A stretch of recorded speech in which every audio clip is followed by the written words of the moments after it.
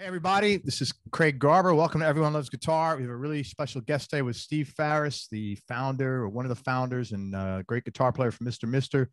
Uh, a number of listeners have requested Steve, in particular, Uwe Wright from Germany. So thanks, Uwe. Uh, I'm going to give you a brief background of Steve. He's got a really good story. This is going to be a great interview. He's sharp as hell. He's funny. He's uh, don't clever. Give to, don't give me stuff I have to live up to. This is uh, that now uh, I'm setting the bar. Uh, so this Steve story is not about a musician who retired to become a hunter. Actually, it's about a hunter and outdoorsman who put a pause on that passion to become a musician. So he began hunting and immersing himself in nature at age three, started playing guitar at age nine. Again, founding member, co writer, co producer, and guitarist for the 80s rock group Mr. Mister, nominated for two Grammy Awards and sold over 4 million albums with Mr. Mister, two number one hit singles and one number one album, which was Welcome to the Real World, uh, which was the 10th largest album sold in the United States in 86.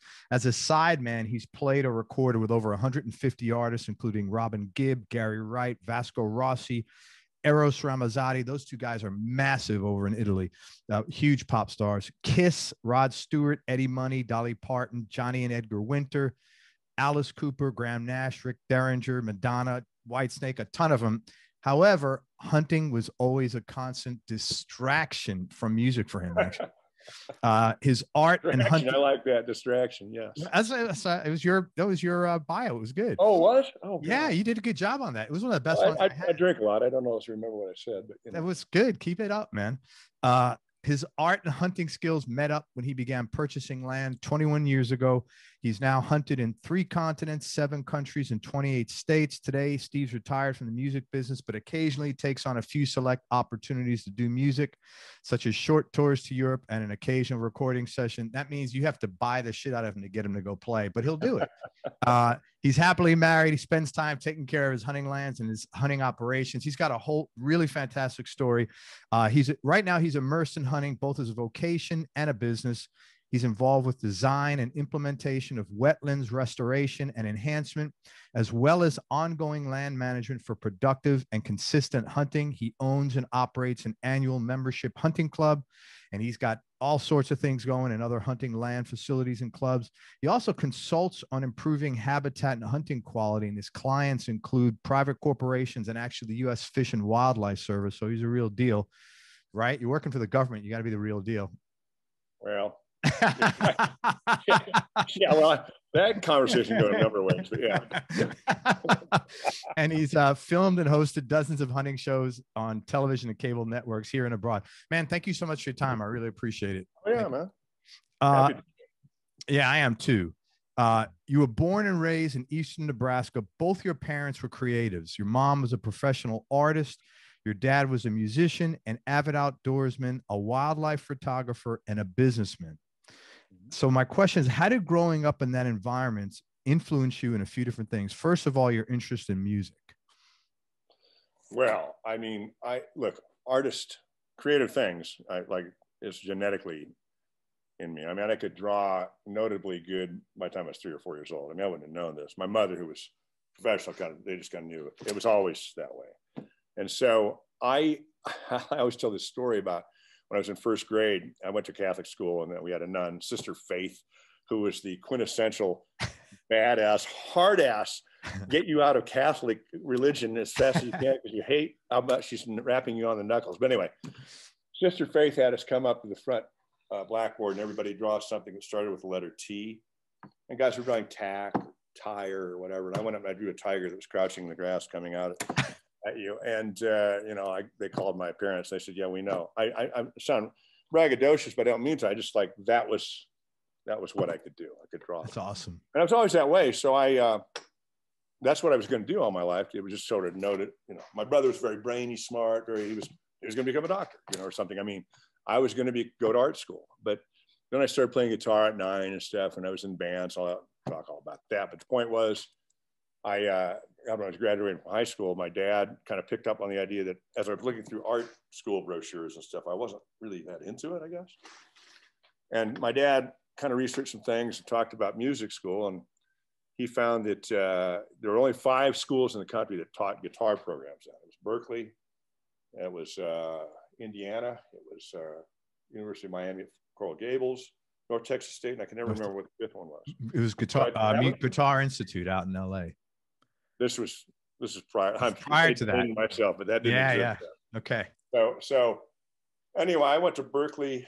Anyway, I, the point is, I, I switched from going into art school, and when I was 18 years old, that's when I said, I'm going to chase music. That's what I'm going to do. And I think that was really a couple lucky things. Lucky that, uh, fortunate, I should say, but that I had something that I wanted to do and knew what I wanted to do because a lot of a lot of us at that age are kind of I don't know.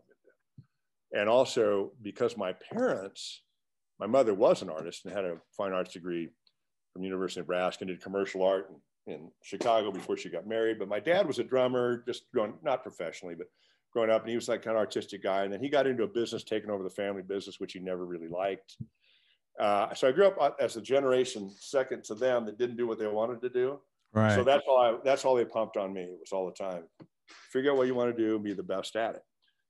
And that was the greatest upbringing because they're extremely supportive, kind of bragging, but yeah. supportive. And it gave me this confidence all along to roll through it. I think to do anything in music or any of these kind of professions, you got to find some confidence because I mean, you're going to get the shit beat out of you sooner or later. I don't care yeah. how good you are before you get there. Totally. And so that's I don't know. That's a long answer, but no, it's a that's a very accurate answer. Uh, obviously, you're interested in wildlife because you your dad your your your dad was immersed in it, and obviously you were yeah. too. Yeah. Yeah. Yeah. No, my dad was dad was an outdoorsman, man. I, I always brag about my dad. He has a fly tying credit from the University of Nebraska, as if any place teaches fly tying in college. Oh my God, that's hilarious. that's my favorite thing, man. I mean, I said that hunters are like, damn, that's good. Um, so dad was, you know, he he courted my mother at, at summer job. Well, in college, they met each other at University of Nebraska.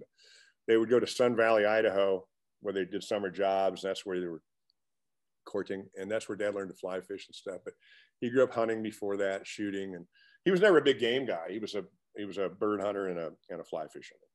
But I mean, I was fascinated by wildlife as long as I can remember. That's how that story probably when you read something about three years old. I didn't necessarily start hunting when I was three, but I can. The story goes and dad used to tell it forever is that I'm out in the backyard and uh, he came out, so even time for dinner. And I go, I know, Dad, but look, it's crickets. I was pointing at some crickets. And I don't come in. He comes out a little while later. Stephen Farris, I told you to get in. It's time for dinner. I said, I know, Dad, look, crickets. And by the third time, God damn it, Stephen Matthews Farris. You know what I mean? When the full name comes out, you're going to, I said, Dad, but look, crickets. So I've always said that might be the title of my biography is crickets. Crickets, yeah, man. I was Absolutely. fascinated about animals all along.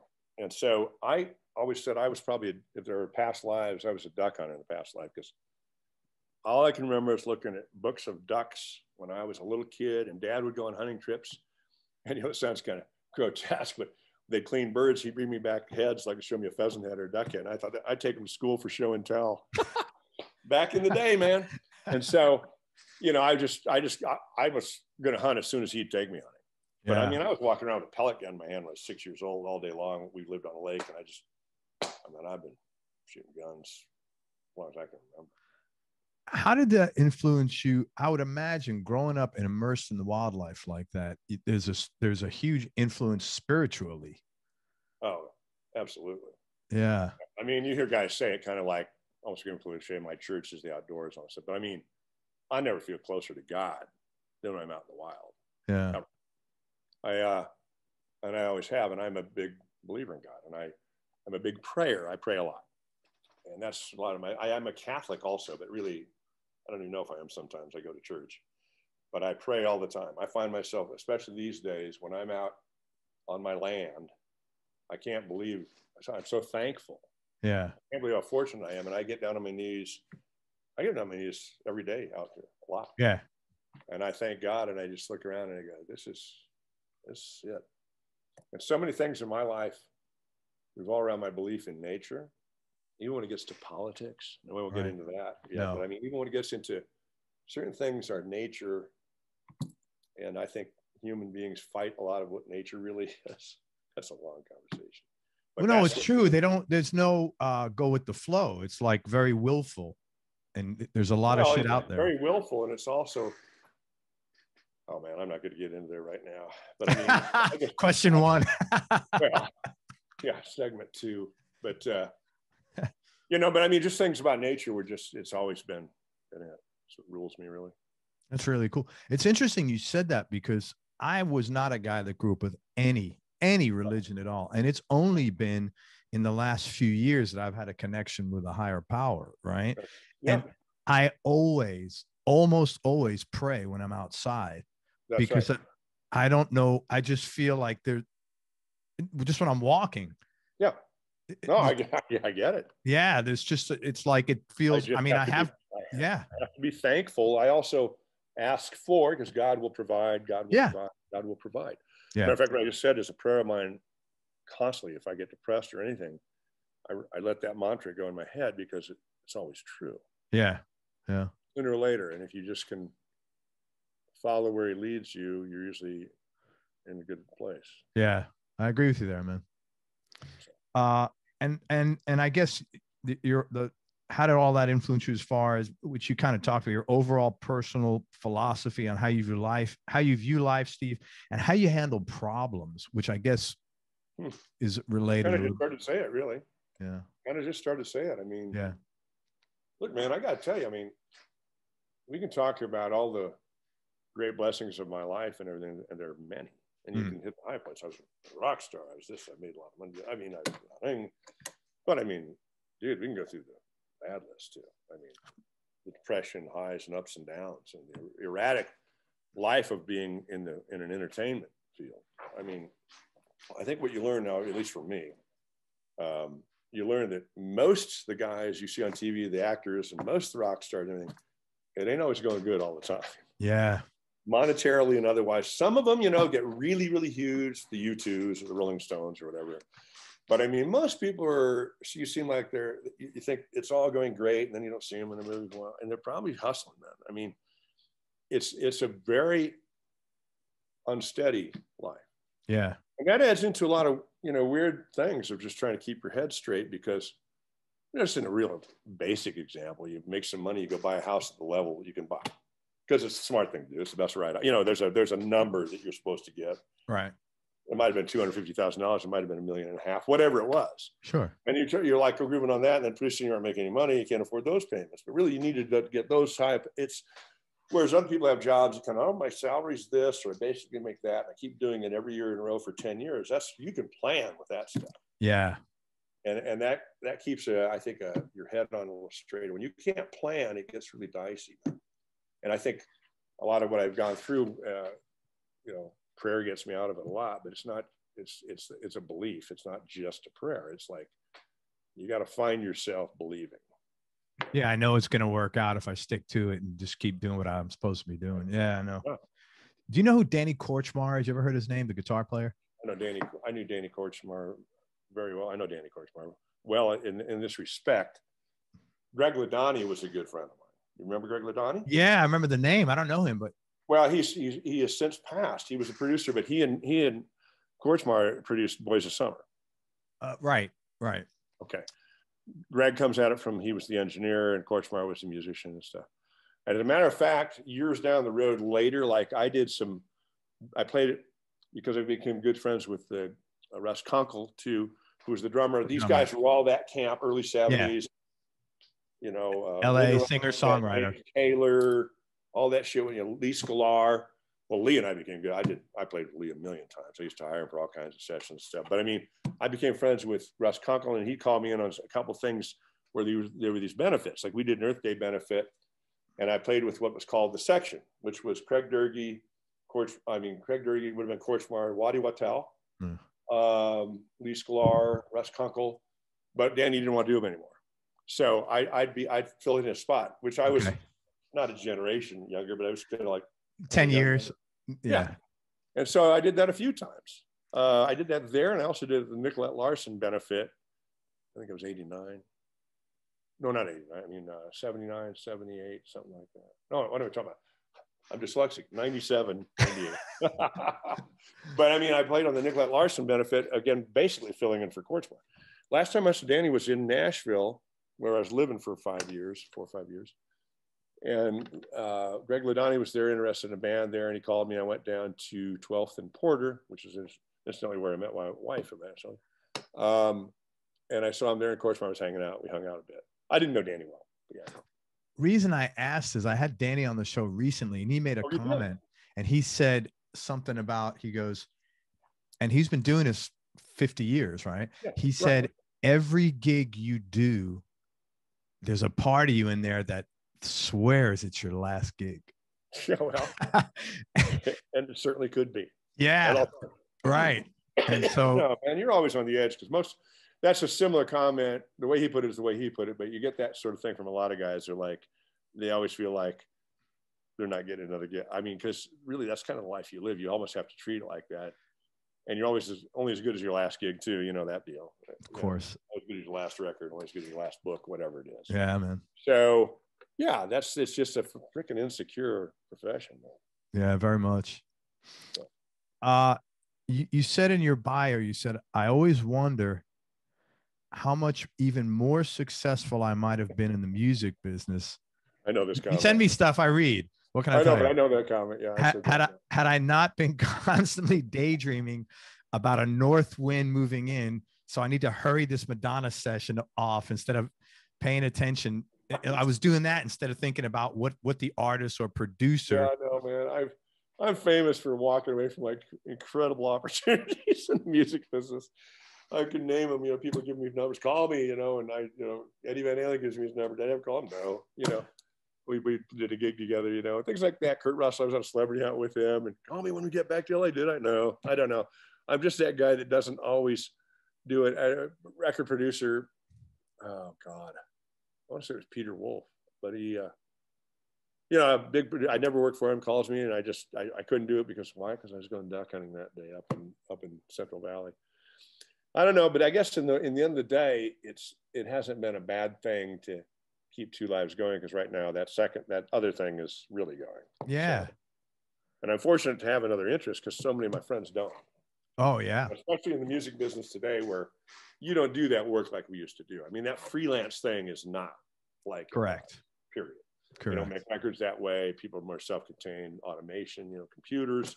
It's a different world. They make it differently, but, but that that lineup of oh, we need an engineer, we need a bass player, we need a it's, it's so, gone. You know, on the wide that, scale. I mean, I know so many guys that have five billion credits, played on everything. You know, doing other things now. You know, it just it's, not, it's just not there and they don't they go you're so lucky because you have another interest right very much how did you first get started in the music business and like what was your first break well i well, if you're technically music business you can say i started playing guitar for money when i was 14 and i never really had another i had like a day gig for three days one time in la or whatever i was, I was always playing for money starving a lot and in trouble a lot but you know even making 175 bucks a week by playing clubs in la you know still trying to live off that but I tell you, probably one of the bigger. I'll tell you two stories because they kind of tie in each other. Yeah, cool. But I just got into LA, and I, I can tell you, I can make this. I can make them all a longer story. But I'm I'm going down to a place called Josephina's in Sherman Oaks because every Monday night they had a big jam session there, and to this day it's the biggest jam session I've ever seen. Meaning there was just it was just a hang. I mean, everybody in the room or a lot of people in the room had big gigs. They were in Earth, Wind, and Fire or George Benson's band, or I playing a lot of funk and that kind of stuff then.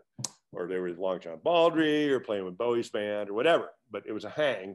You walk in, it's a pizza place, but on Monday nights they'd pull some chairs away and put a house band in the corner. They'd play a set, jazz, and then they have people sit in. And I mean, it was kind of political. You'd get there and, and I mean, there'd be 20 guys walking around drumsticks playing their thigh, getting ready. There'd be guys with guitar cases. There'd be trombone, trumpet player.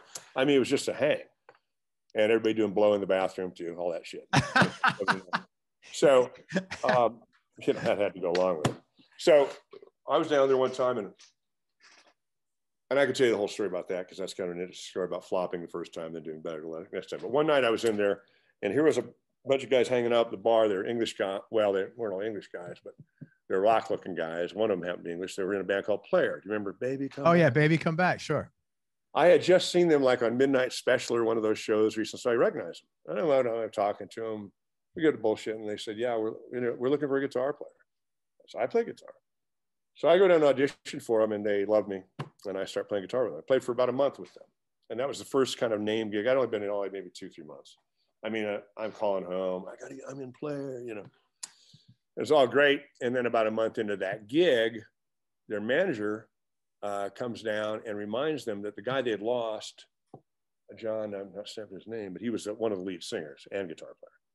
So they really need to replace a guitar player and lead singer. And so they asked me about singing. And I was like, I don't sing.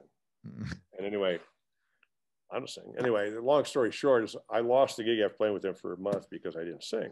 And of course, right then you can imagine pretty heartbreaking. You're new in town and like you think you got a gig with a name act, now you don't. Much yeah. bigger when that happens later, which it will also. But uh, anyway, the next sort of really big thing. Well, right after that, I was supposed to get a gig with Brenda Russell because oh, that's. But the really, the, I think the really big thing is, I mean, I was at a band called the Mambo Jets. The other three guys in the band were from Poco, if you remember that name. Yeah, of course, great band. Well, it was it was Kim Bullard on keys. It was um, Charlie Harrison on drums, and I mean Charlie Harrison on the bass, and um, Steve um, Chapman on drums. They were on Poco's band. Kim Bullard was one of the first guys I met. I actually met him on the player gig. But anyway, we, we put together an original band. They'd written it, but it was kind of a showcase for me. So I wasn't writing the songs, but playing a shitload of guitar on it. We're out doing gigs. You know, we were playing the, the Blue Lagoon Saloon in Marina Del Rey. And, you know, I, like I, I used to really shine in that band. I walked off stage. It was very packed. I walked around the back, and some guy comes up to me and wants to talk to me. And lets me know. He said, "Will you be interested in auditioning for Kiss?" And I'm like, "Why would I want to do that? I got a Volkswagen Rabbit that doesn't run unless I push it and pop the clutch. eat Campbell's soup every night. Why the fuck would I want to join Kiss?" So anyway, um, so he gives me a number. She call this number. She's handling the auditions because Ace Frehley's leaving the band. Was 1982. I go, okay. So I call she said, We'll put together a tape of your stuff, come down. So I get together with Tony Peluso, who was the guitar player of the Carpenters, but he was an engineer also. And I had done a couple sessions that he recorded. I always liked him. And I went over to his house and he helped me just copy over. I had cassettes, tons of cassettes and shit. We I just found things, shit, I found things live that I played at bars in Iowa before I moved to LA, other this or those sessions. This is some stuff I produced before I moved to LA that almost got me a gig with Brenda Russell. It was instrumental. I just put together, you know, a compilation or a show off tape. And I go down to that. She says, come on down. It's down Sunset Boulevard. about Sunset and Gower, I can't remember. I go into her office and she's there. And she sits down and listens to the tape with me in the room and doesn't look impressed. I leave there thinking another day in the life, whatever, no big fucking deal. And about two weeks later, I get a phone call and it says, Is this Steve Farris? I go, Yeah. I said, well, this is Paul Stanley from KISS. He said, Gene and I listen to your tape, and we really like it. We want to know if you want to come down to the record plant tomorrow. That's how we're holding auditions. We're just have guys play. What time? Two o'clock. I'll be there with bells on. So yeah, I go down there, and I had been in the record plant before a couple times because a friend of mine got us in late in the middle of the night for free studio time at you know one in the morning. But I now I'm walking in the daylight hours. I walk by the Tom Petty's, walks in one room, goes out the other. Luther Vandross is talking on a payphone. I can't remember the third superstar that was there, but in the back studio D, I get the back hallway, and here's the sliding glass doors going into the control room, and you can see two guys in there that obviously Paul Stanley and Gene Simmons, but you've never seen them without Mike makeup back then. I mean, mm. now you do, but you had never yeah. seen them. Like, so that's got to be Paul Stanley, and there's an engineer sitting down, and there's a guitar player standing there playing. And I kind of walk in, oh yeah, great, Steve. Hey, can you come outside? And we are listening to another guy. I come out, sit in the hallway here, and I sure.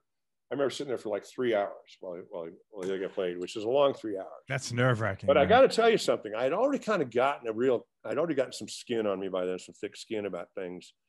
And I always said I don't want to talk to anybody before I play. I don't talk about my playing. I don't want to talk about anything. All I want to do is to walk softly, carry a big stick.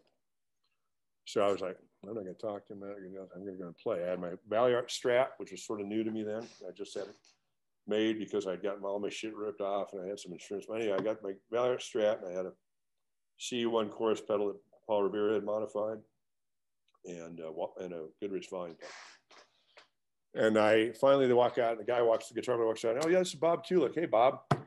Hey, no right. Bob. Yeah. Brother Bruce. But anyway, right. I, hey Bob, how you doing, man? Blah blah blah. They walk out. I go into the room and Paul gives me a chord. He goes, I got a Marshall out in the other room just plug in here. I plug in my volume pedal and my chorus and my, he goes, uh, the song's in G. It's got like an eight bar solo. We'll scroll you up to the bridge and I'll count you in. Mm-hmm. And I go, all right. And of course, by this time, I should mention, I, I, wanted to be a studio. I wanted to be a hot shot. I wanted to be a hired gun. I wanted to be like, go in, fucking nail it right away.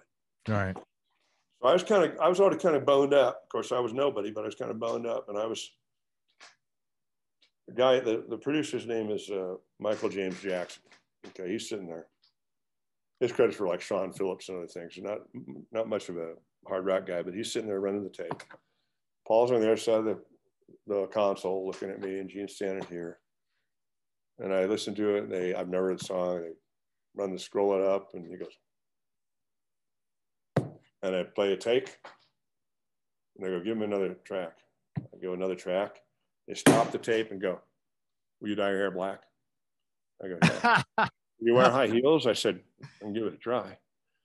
I said, don't fucking cut your hair. And they just started going nuts. Well, that second take of an audition remains the solo on the Creatures of the Night song on the Creatures of the Night album. Wow. Second pick of my audition, top to bottom, no punch. And I have done three interviews about that solo in the last two years still. It seems to be wow. one of the most famous things I've ever done. and here it was an audition. Well, they went nuts. And it was the weekend. I remember it was a Saturday or something. Said, well, let's get together again on Monday or Tuesday, whenever it is coming back. This is great. This is great. So, and I remember, you know, Michael James, you're looking at me, you're happening, man. I mean, it was just like one of those moments of crushed it. So I left there in my Volkswagen Rabbit, you know, going back to Van Nuys where I lived. I had two other roommate, musician roommates. I didn't really tell anybody about it because again, I got into the smart, the smart money is keep your mouth shut and just mm-hmm. that. But anyway, so I ended up playing with them, coming back down and playing with them two or three times doing some sessions. And then they said, let's set it up. We want to play live together. So they went over to SIR. We set up as a band. By the way, that wasn't, um, wasn't the original drummer. Who was the original drummer? Eric Carr was playing with them. Uh, the original drummer was um, yeah, uh, uh, Peter Criss. Peter Criss Yeah. Carr was playing with him, but otherwise it was Paul, Gene, and, and Eric me, and uh, it's Eric, right? Yeah. yeah. yeah anyway, we played and uh, played a couple tunes. We were, you know, I had my gear moved in, and and they said, "We want to hear you sing." Again with the singing, man. Yeah, that's why I told the player story. I'm like, oh fuck. and so sure enough, it's talking me enough. I'll never forget, you know, I said, man, I don't sing, guys. I don't sing. You know, oh no, we can sing. And Paul looking at me and he was saying, Hey Steve, I didn't you sing? I can sing either. And blah, blah, blah. And I'm like thinking, well, I can either try to sing right now, maybe get over. Or I can say I can't sing, walk out, and that's the end of it. All right. Those moments, like, I'm going to fucking sing. So I have the dubious distinction of having played Honky Tonk Woman with Kiss with me singing the lead vocal. And if I had a video, any fucking thing,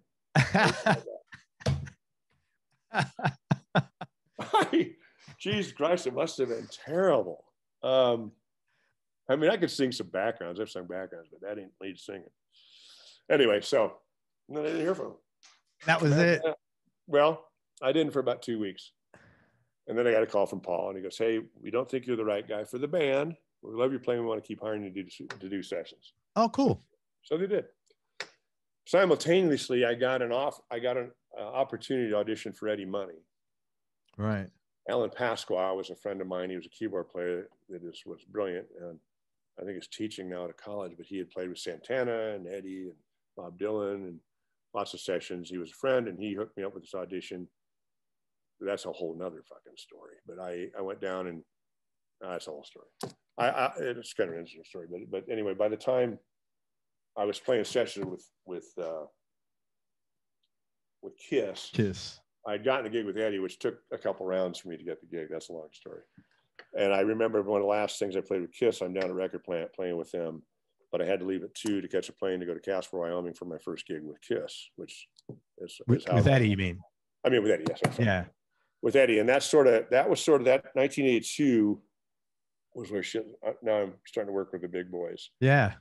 And then when I came back from the Eddie tour in six months, that's the start of Mr. Mister. Whatever I could talk, why don't you ask me questions, man? We'll get specific. I just start rambling. I'm so happy I can remember anything. You know? I'm impressed, man. It's a long time ago, uh, and and I'm sure I can a, off, man, and people know this. If you start pointing out a story, I can start talking about stuff, and it goes five different directions because things do.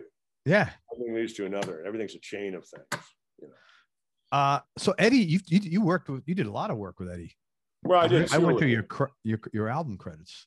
Yeah, I, I did. I didn't do the album. I did the No Control tour after the No Control album, but I didn't play on the record. That was a big tour, though. It was a big tour. It was Shakin' and uh, uh, Think I'm in Love. Yeah. And no, anyway, and then I did a record with him after that. But that was silent. I was right away. We were putting together Mr. Mister while I was sneaking from one thing to the other, going to the record plant, playing on on uh, Where's the Party, in which I'd written a song with Alan Pasquale and Eddie on. That's also where I got to know Tom Dowd, the legendary producer, who Sure. took a great liking to me and was the first guy I did. And I did a lot of shit with Tom over the years. But yeah, that was the same time. Um, that was 83, you know, spring, summer of 83. I had a bunch of I've had a few guitarists who worked with Eddie, and they all loved him. They said he was a really good guy to work with. A lot of fun. He's fun. I mean, Yeah. He's fun. I will say this, and I don't mean this in a bad way, but if you look up the word knucklehead in the dictionary, Eddie's is right there. And that's a good, that's a, that's an endearing knucklehead. He was just kind of that, hey man, you know, I mean, here's Eddie. I, so I could tell a bunch of Eddie stories, but you know, this is a guy that this is years after I wasn't playing with him. He was at Kim Bullard's studio. Kim, I mentioned, was in Mama Yeah. and they were doing. I actually, and I played with Eddie years later on for. Uh, um, not going to come back to me, but anyway, um, Kim was there, and Eddie is going to order pizza, and this is a guy who gets on with directory assistance back before Google and stuff. And he goes, he's talking to the girl, "May I help you? What city?" And she says, "Yeah, this is the money man. I need to get Domino pizza." You know, this. He introduces himself to the directory The assistant. I mean, operator. who would do that? You know, that's so Eddie right there. Money man. Uh, you know, and, and then John Nelson was the other guitar player with Eddie and me. And, and, you know, it was always the kind of thing that when you were before the show, you'd be walking around backstage and whoever you saw first, whichever guitar player you saw first, he'd want you to sit there and play guitar with him while he warmed up on the saxophone. All right. John Coltrane, Eddie was not. Okay. But, Playing the saxophone, right? Uh, And so, and he played, uh, anyway, you go, Steve, warm me up. That was the thing you didn't want to hear. yeah. and you'd play it. Da-da, da-da-da, da-da, da-da-da, da-da, da-da-da-da." I, I, I'm thinking I want to be rocking. So I'm trying to think what the name of the song was, but the saxophone while I went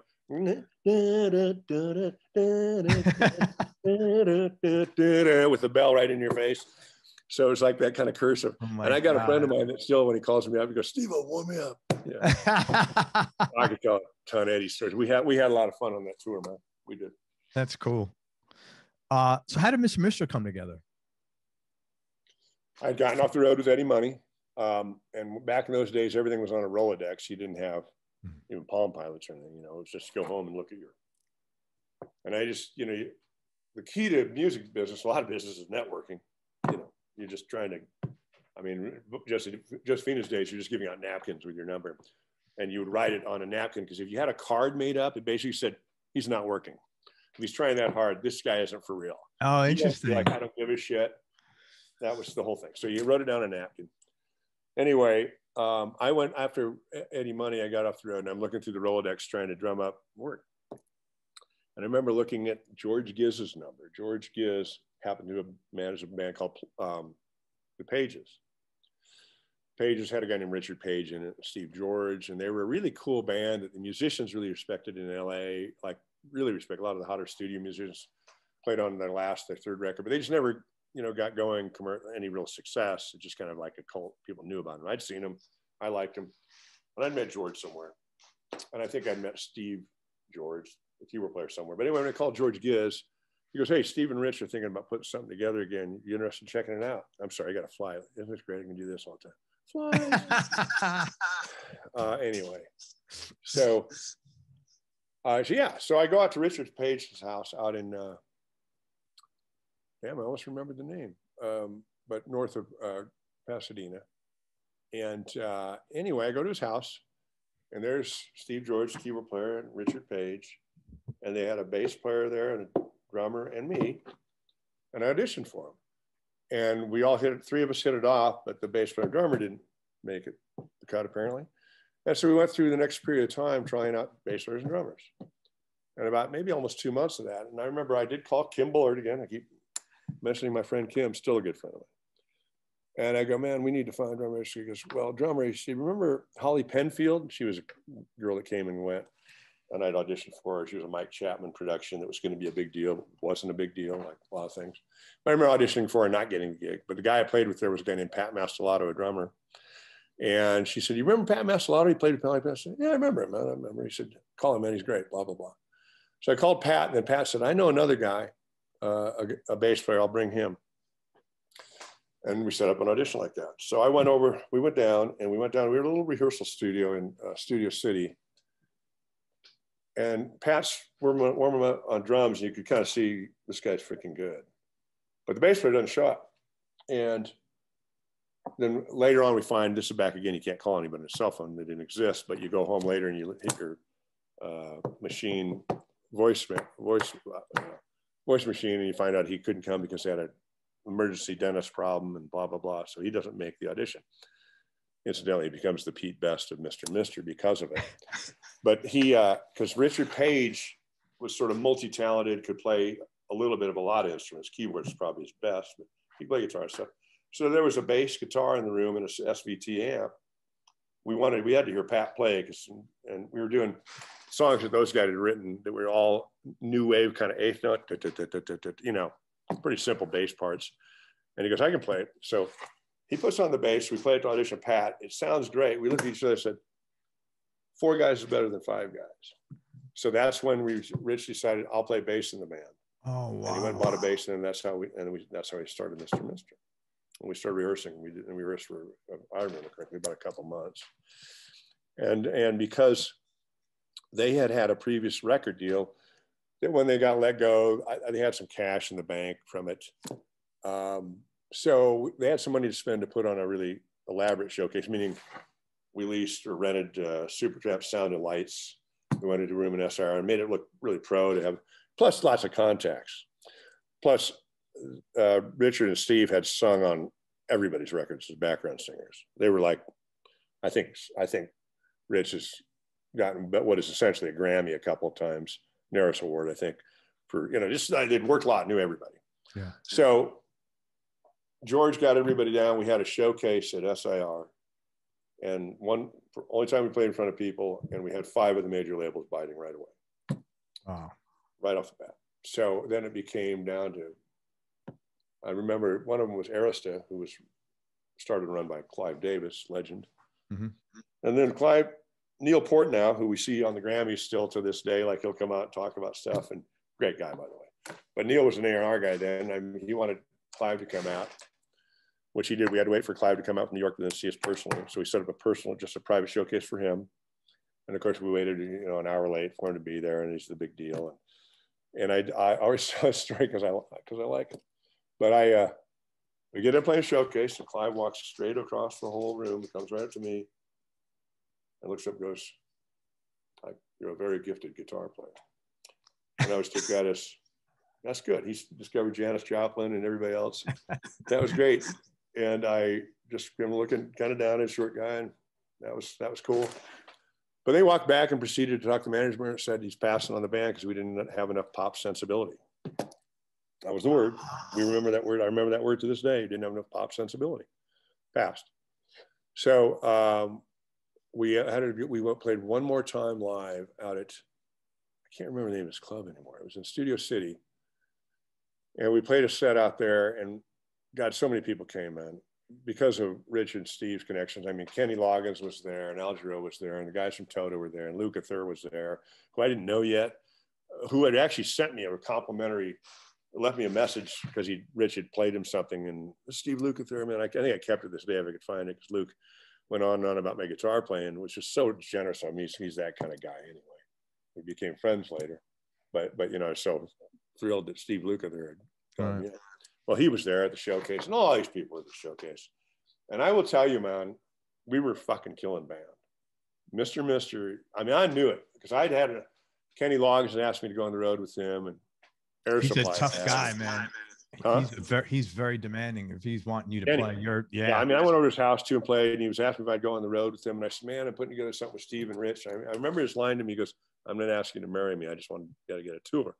I, I said, "I'm doing something with Steve and Rich, who he knew," and I said, "I just sounds, you know, it just seems like this is fucking, this is like something." And so, and it was.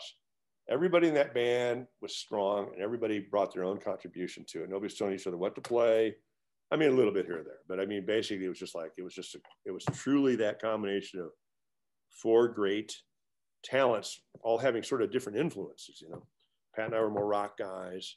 Steve was really a jazz guy. Rich was really R and B, but it just kind of like you know there was something going on. And so we played that showcase, and that was a I'll never forget that night that that particular night because it was just such a. I had my friends out too and it was. I mean, backstage, all these stars are like, Jesus Christ, this is you guys are fucking amazing and blah blah blah. So needless to say and also we had Peter McIan who had produced uh, men at work. Okay. Both men at work albums. And so he had i don't know 15 million uh, albums under his belt or something. Big success at the time. And he was already into it so he was part of the package. We got our deal with rca paul atkinson signed us with rca and that's how mr mister started. That's such a cool story. So uh, clive davis was also the pete best of in, in, a sense, right? In, a, in, in, one small sense. Yeah. I think he was fucking Paul McCartney in a lot of other senses. Yeah. yeah, I think so. But what a cool story, man. What were some of the challenges early on about getting the band up and running once you got signed? well, you know, uh,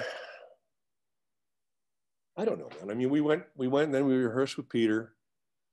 We did an album with Peter called, you know, um, I Wear the Face. It was our first album. And I don't, Peter, I got to know even later in life. He's a very nice guy. I, it wasn't good timing for that record to be made in some way. That's what I'm going to say between people and things that were going on. And that record sort of lost it in translation, I think. Mm-hmm. I think when it was fresh and live, it was really strong. I think we got some life beat out of it by the time we made the record. And it didn't, it just didn't really come off, I don't think, way it might have. That's, I guess, my polite way of putting it. but anyway, it was, and that's how it did. That's what it did. It didn't do anything. We went out and did some opening. We opened for Don Henley for three shows. We opened for Madness for three shows. We Opened for Berlin for three shows. You know, and then that was kind of the end of it.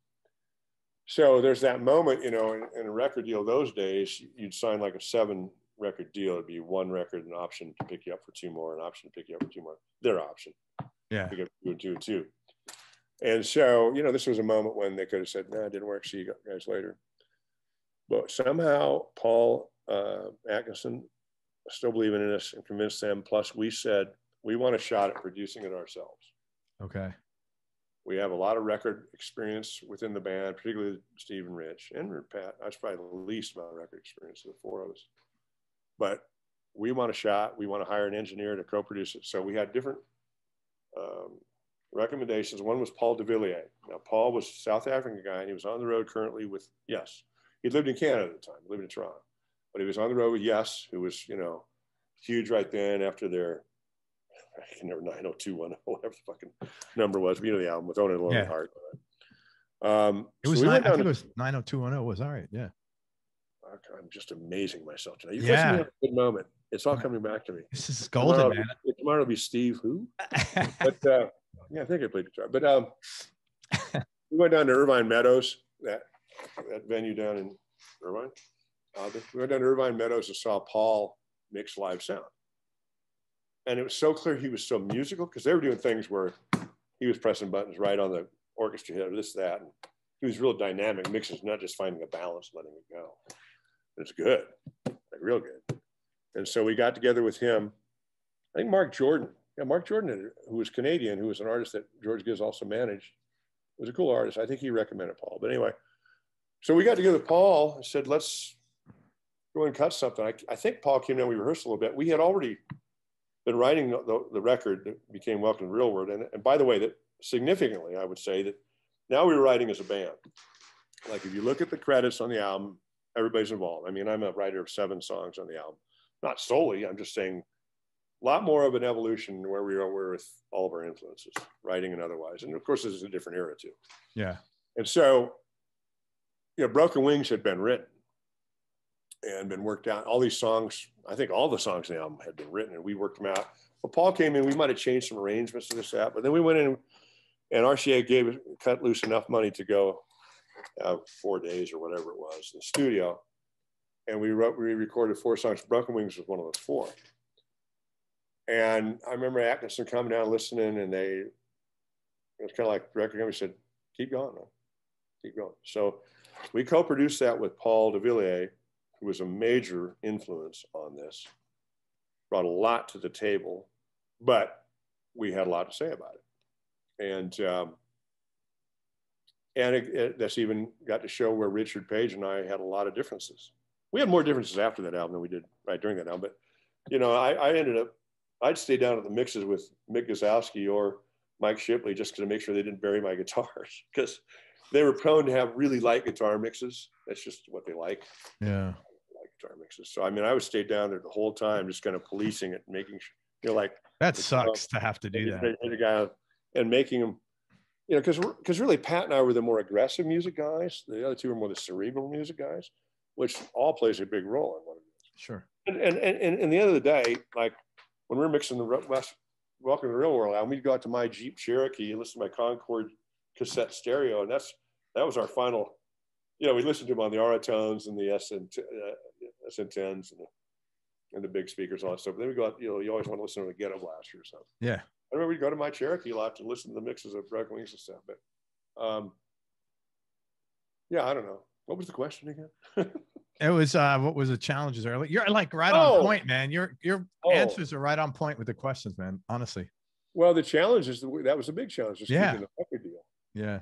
And then you know, like I said, then we stayed at it, man, and everybody was involved, man, and everybody was doing it the way we wanted to do it. I mean, there was really a moment in life for me because I'd go home when even on the first time you go home and then you realize you're really responsible for what you're putting out there. Nobody's telling you what to do. Now you're the artist. I had a great conversation with Pat Leonard, who produced Madonna, was a friend of mine years, years later about this. But you know, now you got nobody to blame, man. Now you got to really sign off on shit and say, that's what I, that's what I want it to be. To the point of like on that Welcome to Real World album, I wasn't happy with, I think as many as four of my guitar solos, meaning the takes or the performance or what I played and I had to raise a stink that wasn't real popular. I said, I want to go recut them. I want to go, I want to go recut them. The Why solo. wasn't that popular? They thought they were good. So you're just saying, we're going to ah, spend okay. more money, you know, whatever. Just, you know, it's yeah. what, you know, what are just jerking off Steve because he's such a perfectionist, which I am, which they kind of all are. But I'm, I'm notoriously perfectionist, probably more obsessive back in those days than I am now. But I mean, just, yeah, man, I just, that ain't it. That ain't it. That's not right yet. So I hired Tony Peluso, guy's name I mentioned earlier. Well, I liked his engineering because he never fucked with my guitars. He made it sound like what my guitars sound like and didn't fuss with it. And so I went in without Paul for a day. We went over to Soundcastle, I think was the studio. And I cut the solo on uh, Is It Love? Um, I'm trying to think what solos. Uh, Uniform Youth. I want to say Into My Own Hands. There were like three or four solos I cut over and I was happy with them. I knew what I was going to play on on Is It Love, by the way. I mean, that's that's a solo that I constructed. I, I actually like. I'm going to play this solo, but of course that can leave you very many times not sounding inspired when you play it because it's already in your head. Right. That becomes challenging. By the way, I could talk about other solos I've done like that. You, it's a great. You, your composition is really cool about it, but you got to make it sound like you played it the first time. You know, where some of the rougher solos you did play the first time have that energy. Yeah. So anyway, but I nailed it. I played it good. I was happy with it, and I walked down. They were happy with it too, so we went on from there. Well, case in point of the guitar solo in "Is It Love," I could walk in that hallway right there, and I've got it framed from a magazine called Guitarist, which was the equivalent of guitar player in, in England, where some guy transcribed it as the solo of the month. You know. Oh, that's cool. And I, you know, talking about it's this and that, and I, that wasn't solicited. That wasn't promotion. That's some guy picked out my guitar solo. So I still got it framed. It's 20 yards from us right now. That's cool, man. And I could tell I could tell you another story about that. I might as well tell you now, but on the next album, Go On, which was not very successful, but I did, I really stressed on a solo. I wasn't happy with the sound of that record. Partially, it could be because of um, um, Kevin Killen was a great engineer who'd done so for Peter Gabriel, and we hired him, and he was probably a little more hi-fi, a little tamer than I would be rock-wise. But I think more than anything, I was always unhappy doing the record because I didn't like the sound of the board. We were on an SSL when SSLs were kind of new, and they just had a shitty sound. I, I want a Neve, you know, I just they just weren't warm, and I was always fussing with my guitar, trying to put it through Neve modules because it was like, why does it fucking sound like shit? Why is everything so thin? But so I was frustrated with that. But but uh, we were playing, we were recording at the Village, and I remember that I was stressing over a solo that was in a song I'd written called "Man of a Thousand Dances," and again, I knew what I was going to play, but I just kept doing takes, and I'm like, this is not it. It's not convincing me. It's not it. Driving everybody nuts, of course. And I remember I went into, I watched a movie one Saturday afternoon called uh, uh, Angel Heart with De Niro and Mickey Rourke. And I went over to Westwood and I watched this movie. And for some, I don't know if you saw that movie, but it's pretty dark. I, I didn't. I, I didn't. That's one of the De Niro movies. He plays, plays Satan. He's the devil in the thing. Okay. It's a down New Orleans. It's kind of a dark freaking movie. I got done the movie. I called Kevin Killen. I said, "Put up Man of a Thousand Dances. I'll be over in a minute to play that solo." and then when I played that solo, and that's the solo that's on the album. Now, I fussed over that. I did 500 takes on that son bitch. If I did one, I don't know. I did three different, four different times with different amps. And I'll tell you, so many years later, meaning 19, maybe 2005, 2006, 20 years later. Right. I'm in Nashville. I'd moved there and I'm out to lunch with a guitar player that had played with Dolly Parton and he was a friend of an engineer of mine. We're all eating Indian food. And he goes, you're not to gurm man. That's a that's a Nashville term. When they yeah, yeah. Sucking out TV, you know. Anyway, I'd never heard in LA, but anyway, not to gurm you, man, but I got to tell you, every fucking guitar player in Nashville learned that solo off Man a Thousand Dances. Ah. See. Yeah, very cool. I mean, it didn't make me any money, but it's fucking came out good. Yeah. So I mean, I'm always shooting for that. And so I guess the challenges of, of making the the Bung Earl, that's a little one in, in my case, but it was just, you know, I think it also we were coming, I remember sort of coming to coming to our own me personally. I remember like for the album, if you look on the album cover, it's this collage, and I'm standing in front of it, kind of like this, and I got a red blazer on and a black T-shirt that says Omaha, smack dab in the middle of nowhere, or something like that. Just shit that you wanted to wear instead of some stylist telling you this is going to be this or that. Right. We just all who we wanted to be, and had a great attitude because it's like, no, fuck, this is what we are, and then it worked. I mean, that's that's the beauty of the whole thing. And said, well, we are right. You know. Are you still that meticulous, or are you uh, found a balance between insanity and quality? Well, probably. I don't. I mean, as you know, I'm not really doing. You know, I'm not making any records. Right no, but in in the in, in things you in are doing. Yeah, in, in your yeah, hunting I, and I think so. I think yeah. so. You get older. Well, you, you get older, and you start to recognize even more and more what you're happy with or what you're. I'm sorry, man. I'm distracting me. But um, no, I mean, you start to know when when the, when you've hit the target a little sooner. Maybe. Yeah, yeah, I think you're right. And you go, no, that is it. I, I am going to be happy with that. Or maybe that's it. Yeah, less, less insecurity. More like, that's it. Yeah. I mean, you got to be that way in business too. And I'm doing so much business now. Last 20 years, I've become businessman. I mean, I make land deals and crazy shit. I write up LLC operating agreements. I mean, and in business, and I mean, you got to be ready to go. That's the deal. Deal. The Did your dad being in business help? Most musicians do not do, as you know. I know. Are, are they like allergic? Unfor- yeah. And I say that unfortunately because no, I know, I know. I'm, I've been very fortunate. I've said, I think even back in the Mr. Mister days, it could be recognized by my manager George, who would pit me against Rich sometimes when Rich would want to do certain tours because of personal things and all that. And I'm looking at Rich like, you fucking kidding, man? We're hot right now, man. We might not be hot next year. You know, George yeah. knew I was more business oriented minded and thinking. I was more like pragmatic about it. Dude, you make the money right now. Yeah, make yeah. make hay while the sun's shining. Make, absolutely, man. That totally, yeah. Because it's true, guy. Next album, we aren't we aren't we aren't getting paid 170 grand a night anymore. Yeah, yeah. You know, it's like so. You know, so yeah. I mean, I've had that, but I but I've certainly fine tuned and developed into because because it's the passion about what I'm doing with land and stuff, which I talk about hunting land and my deals and putting together partnerships and things, and I'm passionate about it. So I've gotten, I'm, I'm, I'm, kind of, I guess, like a lot of people, one of those guys. I, I get good at stuff that I really want to get good at, mm-hmm. and I don't get good at a lot of th- other things, so I don't really care about them. Sure. So in business, I've had a lot of fun being. I don't know. I've got a big player that I've been. I sell some real estate because I got a license to facilitate all my own stuff. I, mm-hmm. I need a license to just do my own land deals. And anymore I've, I've, for friends and stuff i've sold some of their but strictly hunting property and stuff that i really understand. And i've got one guy says you're he, he's a venture capitalist. He says you're the best realtor i've ever worked with in my life. I go that can't possibly be true. But but I, I think it's just because I, you know you're a great salesman. I say i'm, a, I'm not a salesman man salesman somebody say here go sell this it's a piece of shit and that guy can sell it that's a salesman you're not in the convincing business. I believe in something, I can yeah. convey why it's good. Right. And that's good at selling too. But I mean, you can't give me something I don't believe in. I mean, sell it. Yeah. I'm just I'm just a facilitator of not of knowledge, I guess. Yeah.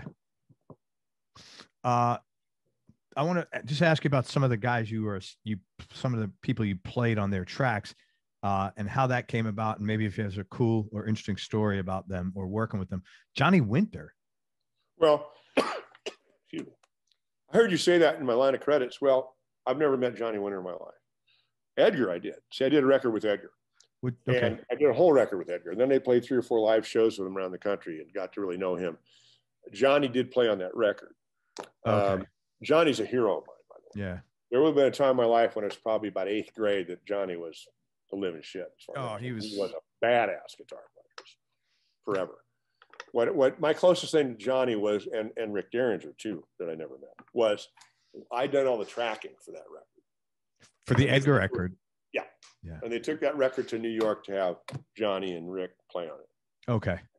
And Johnny, who suffered heroin addiction all the time, didn't own a guitar at that moment because he'd hawked his last one and ended up not, I don't think he even played on it. Rick did. And then Edgar brought it back, and then I played the solo that Johnny was going to play. Right. I guess that's the true story. Yeah. Sad, sadly. Yeah. But I am a Johnny Winter fan. I mean, I oh, yeah. knew David Coverdale when I was in Whitesnake. We sit on the bus and listen to old Johnny Winter tracks and go like, I mean, I may not have even appreciated when I was that young to really know how fucking good he was when I got older. Like that fucking guy. You know, put Steve Vaughan and all those motherfuckers together, and you're like, Johnny Winter, shit. So, how long were you in Whitesnake for? I did. I did a tour with him.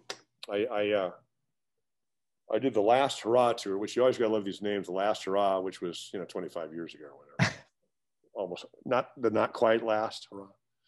But this was 1997. I remember because I just got married to my first wife, and I left like three days later, or whatever, to go rehearse up at Cal Neva, this old casino that sits on the Nevada California border up by Tahoe. We rehearsed there three weeks, and I went on the road and we went out of the, we went out of the country. I never played a, I never played one gig with Whitesnake in the states, but I we started in uh, Japan and went across England. We did the Baltics, we did Russia, we did Europe, we did you know South America. So I played with him for about six months and then mm came back. That's that's it. But I mean, I was it was a great time and it was a great. David was great with me. He was great to me. It was a lot of fun. So. Wait, was that is that was Doug Bossy on that gig? No, Bossy, uh, who I know, I know Doug. This is Doug. Doug played with him later than that. I think. Okay, yeah, must. The guy who played with him right before me was uh, Steve uh, Vai. Okay, right, I played right. with him right after Vai. Right after. And uh, Denny Denny uh, Carmassi, Denny Carmassi's playing drums. Adrian Vandenberg was also playing guitar still. Adrian and I were playing guitar. Um, God, what am I? Tony Franklin was playing bass. Mm. And Derek, uh, oh, Derek, I'm so sorry. He was the least named guy playing keyboards, the sweetest guy of all. And he was playing keyboards. That was the band. Derek Sherinian? No. I might just have an effect. No worries. Moment, boys. The, the real reason I thought Doug might have been on that because I think he rehearsed at the same place, and I think oh, I remember that's because Coverdale lives in Tahoe. Oh, that's his thing. Okay. So that's his thing. I was like, whoa, that's okay. That makes sense. Um, tell me top three. What do you think? Knee jerk, just knee jerk reaction. Top three musical experiences you've had. Well, I, right away, I want to say musical experiences or sort of career experiences. I, would have to. Whatever you, that's whatever you want to say. I remember one time when I was at, um, there's a lot of them. So I, but just kind of, I guess, talking about fame or whatever, there was, I went up, I was still in Mr. Mister, I went to play on an AIDS benefit when I was in uh, Boz Scaggs' band. We went to play the Bay Area for an AIDS benefit. And of course, all these Bay Area stars were involved, Bobby McFerrin and Oz and Carlos Santana. And I'm trying to think, you know, just the Bay Area folks. And we had a quick, re- well, I rehearsed two days down in LA and knew all Boz's tunes. And then we went up there and, and then we had like a kind of dress rehearsal on stage, and our, or you know, sound check. And the different artists came out and they would play with us because we were kind of a band and we'd do one song. And I remember when Carlos came out, and he kind of he's a he's a musician, he wants to jam.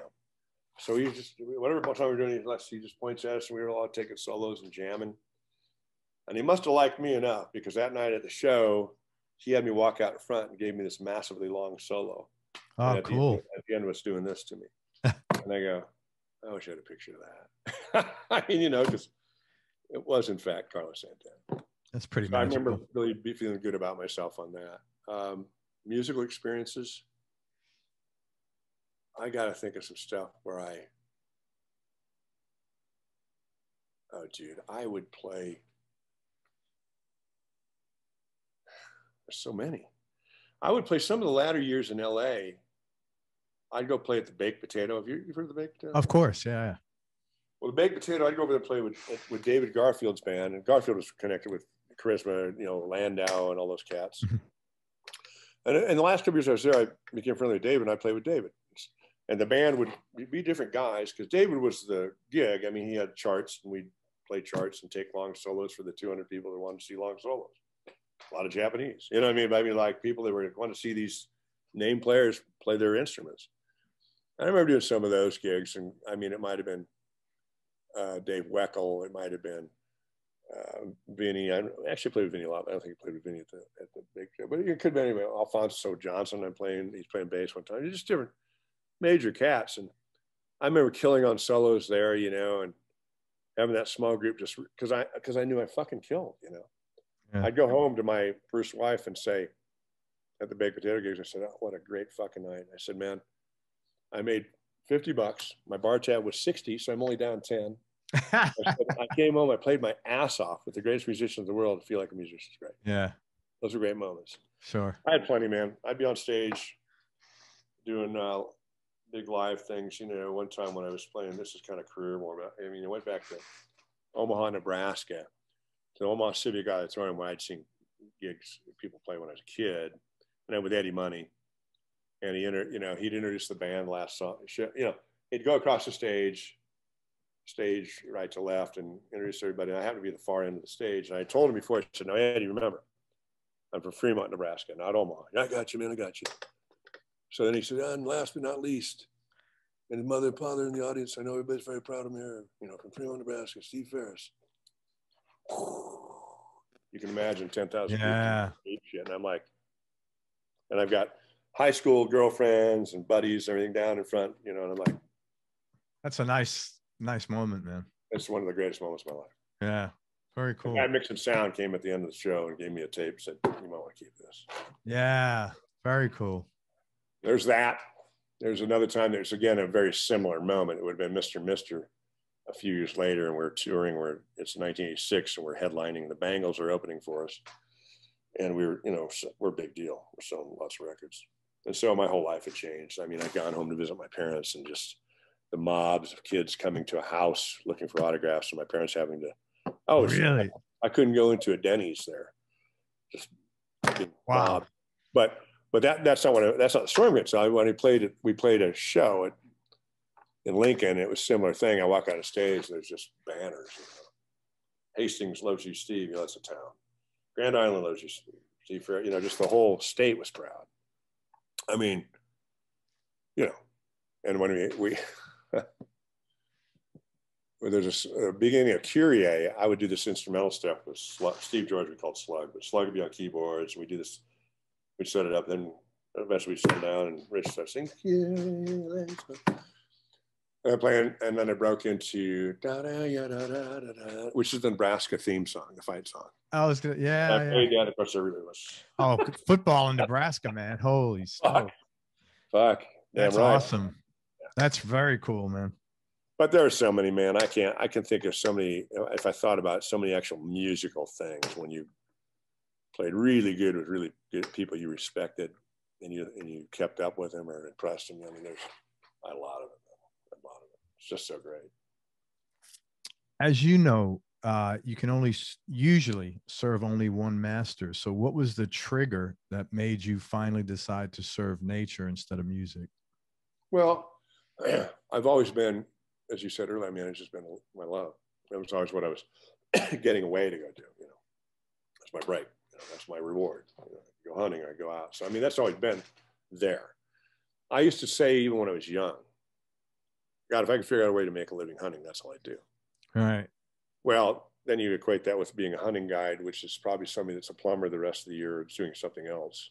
But it's not hunting season, you know, it's a lot of work. But my toy that I always wanted was hunting land.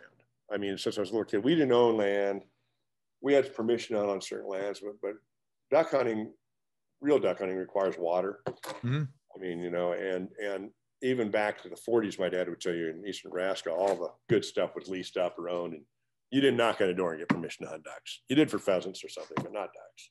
Why is that? It's, it's, it's so cool. Well, because the water, just, just, I don't know, man. People just want, you know, I, have I've learned that out here in the more remote areas. I back when I would have been that age, you could have knocked on a door, but just saw it after, man. Just planned to man. You know, so, so anyway, but the point is, I would work for guys that were guides, so I could go with them hunting. I mean, I just dreamed about having my own place to hunt ducks. And I said, if I ever make any money, I'm going to buy my own place. Well, I, in Mr. Mister in the 80s, I should have done it. I didn't get around to it. I was busy, and of course, I could have bought everything for nothing compared to what it before now. But and I then I, you know, the career kind of went up and went down again. I didn't, I wasn't in a position, but later on in the 90s, I was putting together enough money, and I looked for about five years, mainly in Northern California and Oregon, for hunting land. I just wanted to find what I wanted and I saw an ad in the back of a Ducks Unlimited. I don't know if anybody knows what that is. Ducks Unlimited is a conservation organization focused on ducks and geese.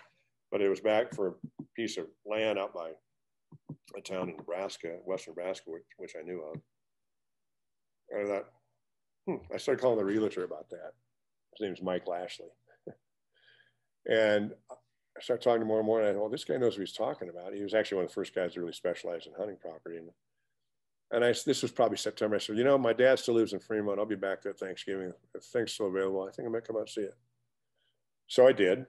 I brought my first wife with me and I came out and it spoke to me and I was like, this is the one. Now, the big thing on it though was this. It was twice as much land, twice as much money as I was ready to go, like everything is. The thing you fall in love with is always more than you can afford. Mm-hmm. Plus, it didn't have any water, meaning any ponds, sloughs, marshes, but it had the North Platte River running through it. Now, the North Platte River in the county I'm talking about is a game refuge. You cannot hunt it by law. Okay? You cannot hunt it. You cannot hunt on the river, and you have to be 110 yards out from the river to hunt. That's a statute in Nebraska. And actually, the only other place like that in Nebraska is where I grew up in Eastern Nebraska. So I grew up with the same rule. And I'm a big fan of it because I'm a big fan of sanctuary, and you have to have, have good hunting, you have to have safety zones too. So, but but the fact was, it had no water on. I'm a duck hunter. So two things had to happen. A, I had to learn to build the duck hunting, or find agencies that would help me do wetlands or whatever. And B, I thought, how can I fucking afford this thing? Well, maybe if I put together a hunting club, like I've always thought a hunting club should be, I'll do it my way. I can make this make some cash flow sense. So this was how did you think of that? How did you think of that? You had must have had exposure to hunting clubs or something. Oh yeah, yeah, I knew what hunting. Okay, yeah, okay. Yeah, I also knew about wetlands restoration because one of my good friends, a guy named Gary Zom, in uh, California, he was a he worked for the U.S. Fish and Wildlife Service. He managed federal refuges. Big hunter, we were big friends, and I learned a lot from him. And I used to know a lot about what could happen. You know, this guy was a master managing habitat. That's what his job for the government. Older guy and great guy. Um, so I just want to interrupt you one second, just so I understand. I'm, I'm, I'm, so, but basically what you're saying, there is a process to put wetlands on a property without. Well, either put what put it on or or, or restore them. And I can tell you Okay. about that. Yeah. Okay. Great. But the point being, I had to create the type of habitat and uh, topography, and you know, I had to make it into a duck hunting. Yeah. Holy shit! What a project. So I call. I look at it at Thanksgiving of 1999. I make an offer. I want to buy about a fourth of it. It was on both sides of the river. I wanted to buy the western half of the south side. And I called the realtor and make an offer, and the seller said no. He said, "I'll break it in half, North River, South River. I won't bust it up any more than that." So I come out again in January. I said, "Can I hunt it? Can I hunt on it to try it out?" So you want to like sa- like sample? Yeah. Yeah. So I, I went on an alfalfa field by myself with a what's called a layout blind and decoys. And I shot limits of geese three days in a row, which you can do on land, but not water. Um, and I started, and I also out there, I called my friend. I said, Who do I call about wetlands restoration? He said, Call Rick Warhurst in Bismarck, South Dakota, who's with Ducks Unlimited. I call him and he goes, Well, not me, but call Kenny Dunn and Kirk Schroeder from U.S. Fish and Wildlife Service in Grand Island, Nebraska. So I call and I get Kirk Schroeder on the line.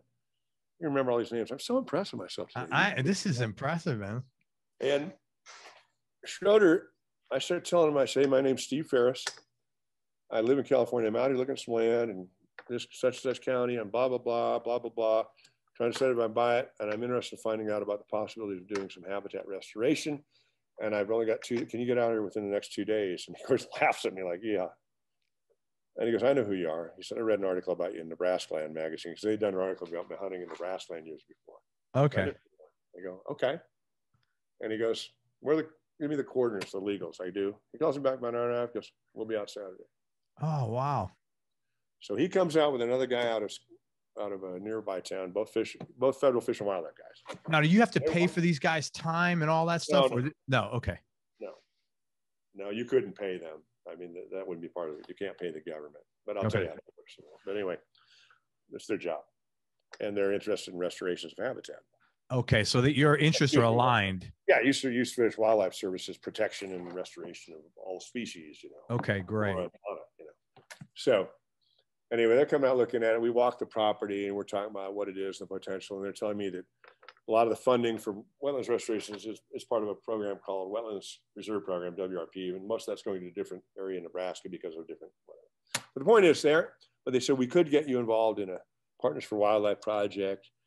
We'll find the funding here and there. Well, try to speed this up. Yeah. I entered a little a little contract that I'm partnering with U.S. Fish and Wildlife Service, Nebraska Game and Parks, Ducks Unlimited, and my own money, and we put together a, the first phase of a restoration for slough restoration. Sloughs being meandering wetlands, shallow water wetlands, which is the habitat you want. And I even start designing it on a computer and drawing it out. And they take my drawings. They they they take some of it to heart. But I'm out here involved in the whole, watching how we do it, how we flat, da da da da da da da. And I'm sort of fighting with one of the guys who was in charge because I wanted a certain way, and you know, and then he'd do it a certain way when I leave. Like I, I, left, I had to go back to California. I said, I'm really happy with this spot, really happy with this spot. So don't change it. And that son of a bitch changed it after I left. So of course they left, and I called a dozer and an excavator came back, and I put it back the way I wanted it. two weeks later, and that's kind of how, how it goes. And I never, I've, I've never had anybody else design any of this on me. And I have now owned seven properties that I've designed and developed. I've worked in four states, worked for other individuals doing it, including the Fish and Wildlife Service, unbeknownst to those guys, hiring me and sending me to Oregon to do a 25 acre wetlands restoration, implement, design and implementation on the Wood River in the Klamath Basin. I love that credit because it's just one of those no biologists, no schooling, which is the same as playing guitar. I'm not a Yeah. school guy, self taught everything. And that's I'm doing that kind of work. So, but back to the original deal, I put together a hunting club. And of course, that had a lot of struggle, you know, trying to make it monetarily work and going through different guys that are good members, bad members. But this is the point of this is this was God leading me into my next phase of life. The two things I didn't go to look for hunting property was one was how to make a living, though that could have been more plausible. The other I would never seen coming is a creative outlet. And that, as I will say or been quoted in an interview before, is like I was an artist when I started. I was a guitar player. And now my paintbrush is the long arm of excavator. Yeah. Sometimes 60 feet long, drawing on the earth, which is probably the greatest creative project I've ever done. I've been doing it 20 years and I am changing the earth and watching wildlife respond to it, not record company guys and opinions and politics and people doing whatever they fucking think they need to do for their lives. It's definitive with wildlife. They respond, you're probably right. And so I go, greatest creative process in the world. Makes sense? Yeah, man, 100%. And I'll tell you what is really nice the, uh, your level of, uh, fun slash passion that is like very loud, man. So I'm really happy. Yeah, that's real. That's yeah, that's really cool because like it's you know you're like it's like when you probably 30 years ago and you say, Hey man, I got this idea for a song. And we'd put yeah. the solo, you know, and I could just see that and feel that. Sound, man. Check out the sound. Yeah, yeah, yeah. That's really cool, man. How you've and I tell you, there's a, a ton of gratification when you do something on your own and you haven't had any education and, and it's just like you know sweat equity and yeah that that that may that does feel good because i've had yeah. that situation and you said the word sweat equity quite literally even in terms of mo- making money on steel right the first place i bought myself the second place i went and found guys that wanted to pump in with it on you know i mean it's in a financial sense god i should have been doing this long i mean it's it's it's been tremendously rewarding but because of incredibly hard work. I mean, work that you love, so you do it. Sure. But my wife, my current wife, I hate what a great term. My current wife, like I'm going on to another one. But my wife, who has been out here for the last, we've been living out here now for the last 12 years, I think, something like that. And she, I've heard, I've overheard her when she's telling people, especially we've had a really big year on a couple things. I sold a ranch and, you know, business wise, I've had some really good things happen this year. So, and she, as she's talking about, she says, and she's my biggest fan. I didn't really even know. I mean, she's, she's a fan. She loves me, but but she's just said this guy works like nobody I've ever seen. Mm-hmm. His tenaciousness. And I, yeah, I know I'm that. I was that way with guitar and everything else. I think when I and here's the common denominator. I've said that about people with advice for you. The one common denominator I've seen in all the guys I know that have made a lot of money or are very successful is they all work their ass off. Uh, you have to. There's no free Period. lunch. That's it. There's, yeah. There's some guys that have inherited money, and so I'm not talking about them. I'm talking about no. the guys that fucking made shit happen. Yeah. All work their ass off.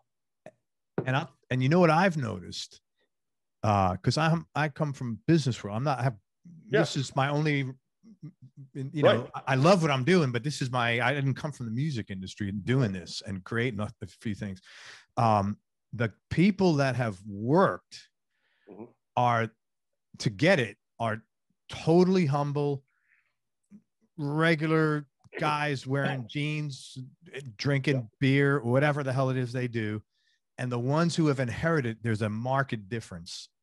They they don't know who they are. They haven't had to learn who they are. It's yeah. You don't have that connection.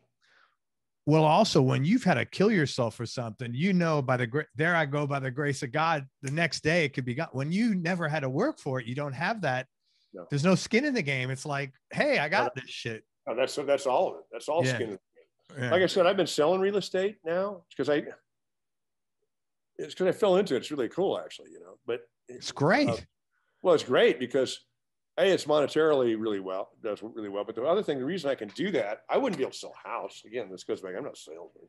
Yeah. But I can talk about duck property in this part of the world. I don't know who could talk about it better.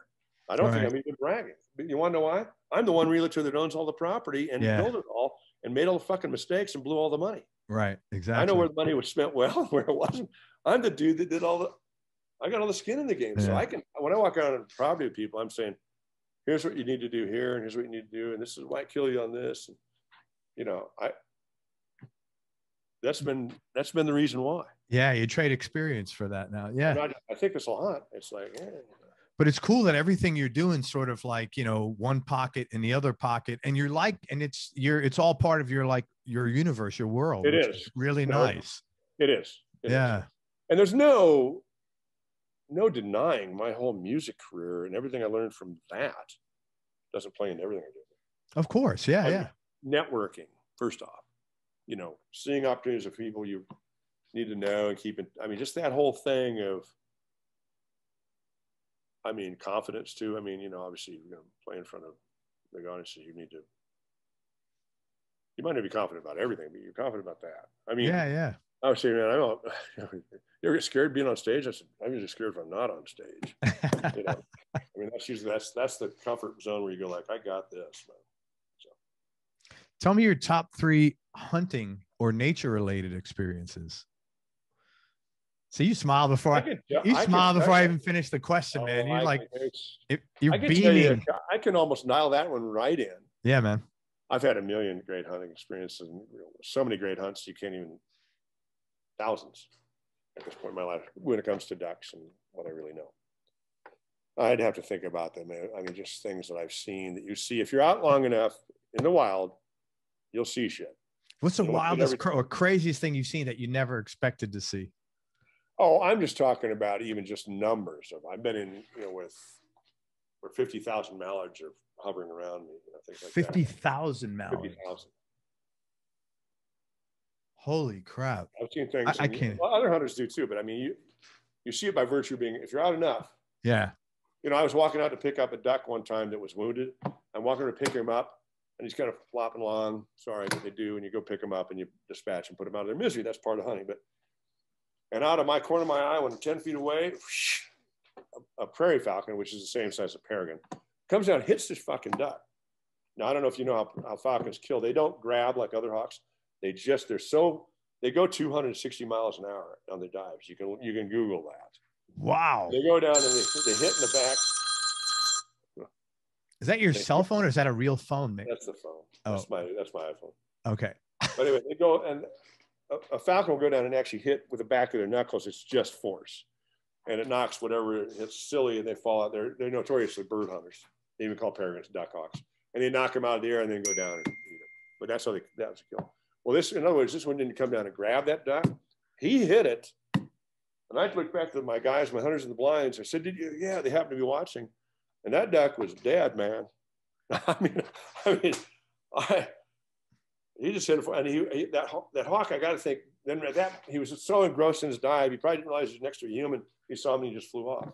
But I mean, those are things you go like, not everybody gets to see that. Yeah, that's pretty. And I'm looking out the back window right here one time, and I see a couple. I thought it was a coyote coming along. And I realized it's a bobcat with two kittens that are mostly grown.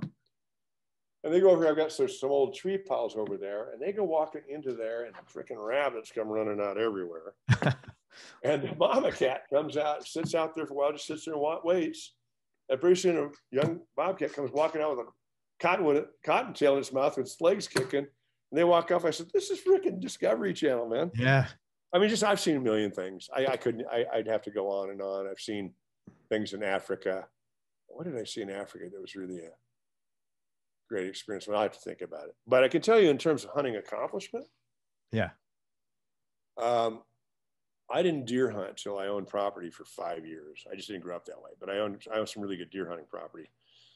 And I sell deer hunting as part of the business, and I wanted to learn more about it, so I got involved and started learning it. Well, I got good enough at it to do some stuff, and I have taken three monster, huge whitetail bucks and if you're not a whitetail hunter, you don't realize it, but this is an extremely sought after trophy. You don't realize it because we live in America and a lot of whitetail deer are killed because there's a lot of hunters. Right. But I've learned that you can have all the money in the world and be able to hunt across the world in Africa and everything in every safari. And one of the hardest trophies to get is an American white-tailed deer. That's truly a trophy, truly big. Interesting. Because they're really elusive and they're really the only reason that many are killed is just by numbers. There's that many people hunting them. But you can, I just a guy last year came out to me he's in his 70s, shot polar bears, shot everything in the world since the 50s. I still never shot a big white-tailed deer. And he finally shot one on my property. Oh, wow. Well, I've shot three, and they're on my properties. That's another big part of why they mean so much to me. I yeah. probably wouldn't even go on uh, somebody else's property. I've been invited to, to this. They're like they're like property trophies. Mm. That's me nurturing the habitat, taking care of it, not shooting bucks before they're mature. It's all these things. And then putting incredible amount of time in. Like I got one sitting over that I shot. I, I knew he was on there because I was using trail cameras. I had four encounters with him before I ever shot him. I mean, it was one time right under me, but I couldn't get my bow around. Just things. And I finally, I probably hunted him 16 days and then got him. I might not have got him. Wow. I shot another one same way. And then la- then I went, that was 2010. I shot a really, really big deer and I shot a really, really big one 2011. And I finally shot another one this last season, 2020. And I have hunted every day of every season in all that time and never. Oh, wow. So they are elusive. Waiting for the right one, passing on other ones, passing on yeah. some that people would, wouldn't pass on. I know that translates here to people listening to this show, but those are like duck hunting will always be my love. Hmm. But I will say, when you walk up after you have conquered that um, goal and appreciated that animal for everything he is, and of course we eat him too. I mean, I'm eating the whole thing. It's a beautiful trophy, and the respect sure. you have. You walk up him and you go like, okay, I get it. It's really fucking special. Well, it also sounds like you've taken so much care and like like you just said, you're not you've passed on a lot of the ones oh, because yeah. you know you're you're you're good, good, deer hunter good deer hunters do. Good trophy yeah. hunters you pay you have to learn to pass. You have to learn to judge them you have to learn when they're really big or not. I mean when you're new at it you might not know that. I mean you might think something's big when it's not. That's a common mistake but you start to really look you know the length of their ears to this. I mean there's the whole thing to it man. I mean there's i really have developed a huge respect for good deer hunters because mm. they just are not easy animals they're very elusive, very smart. So that's a big moment for me.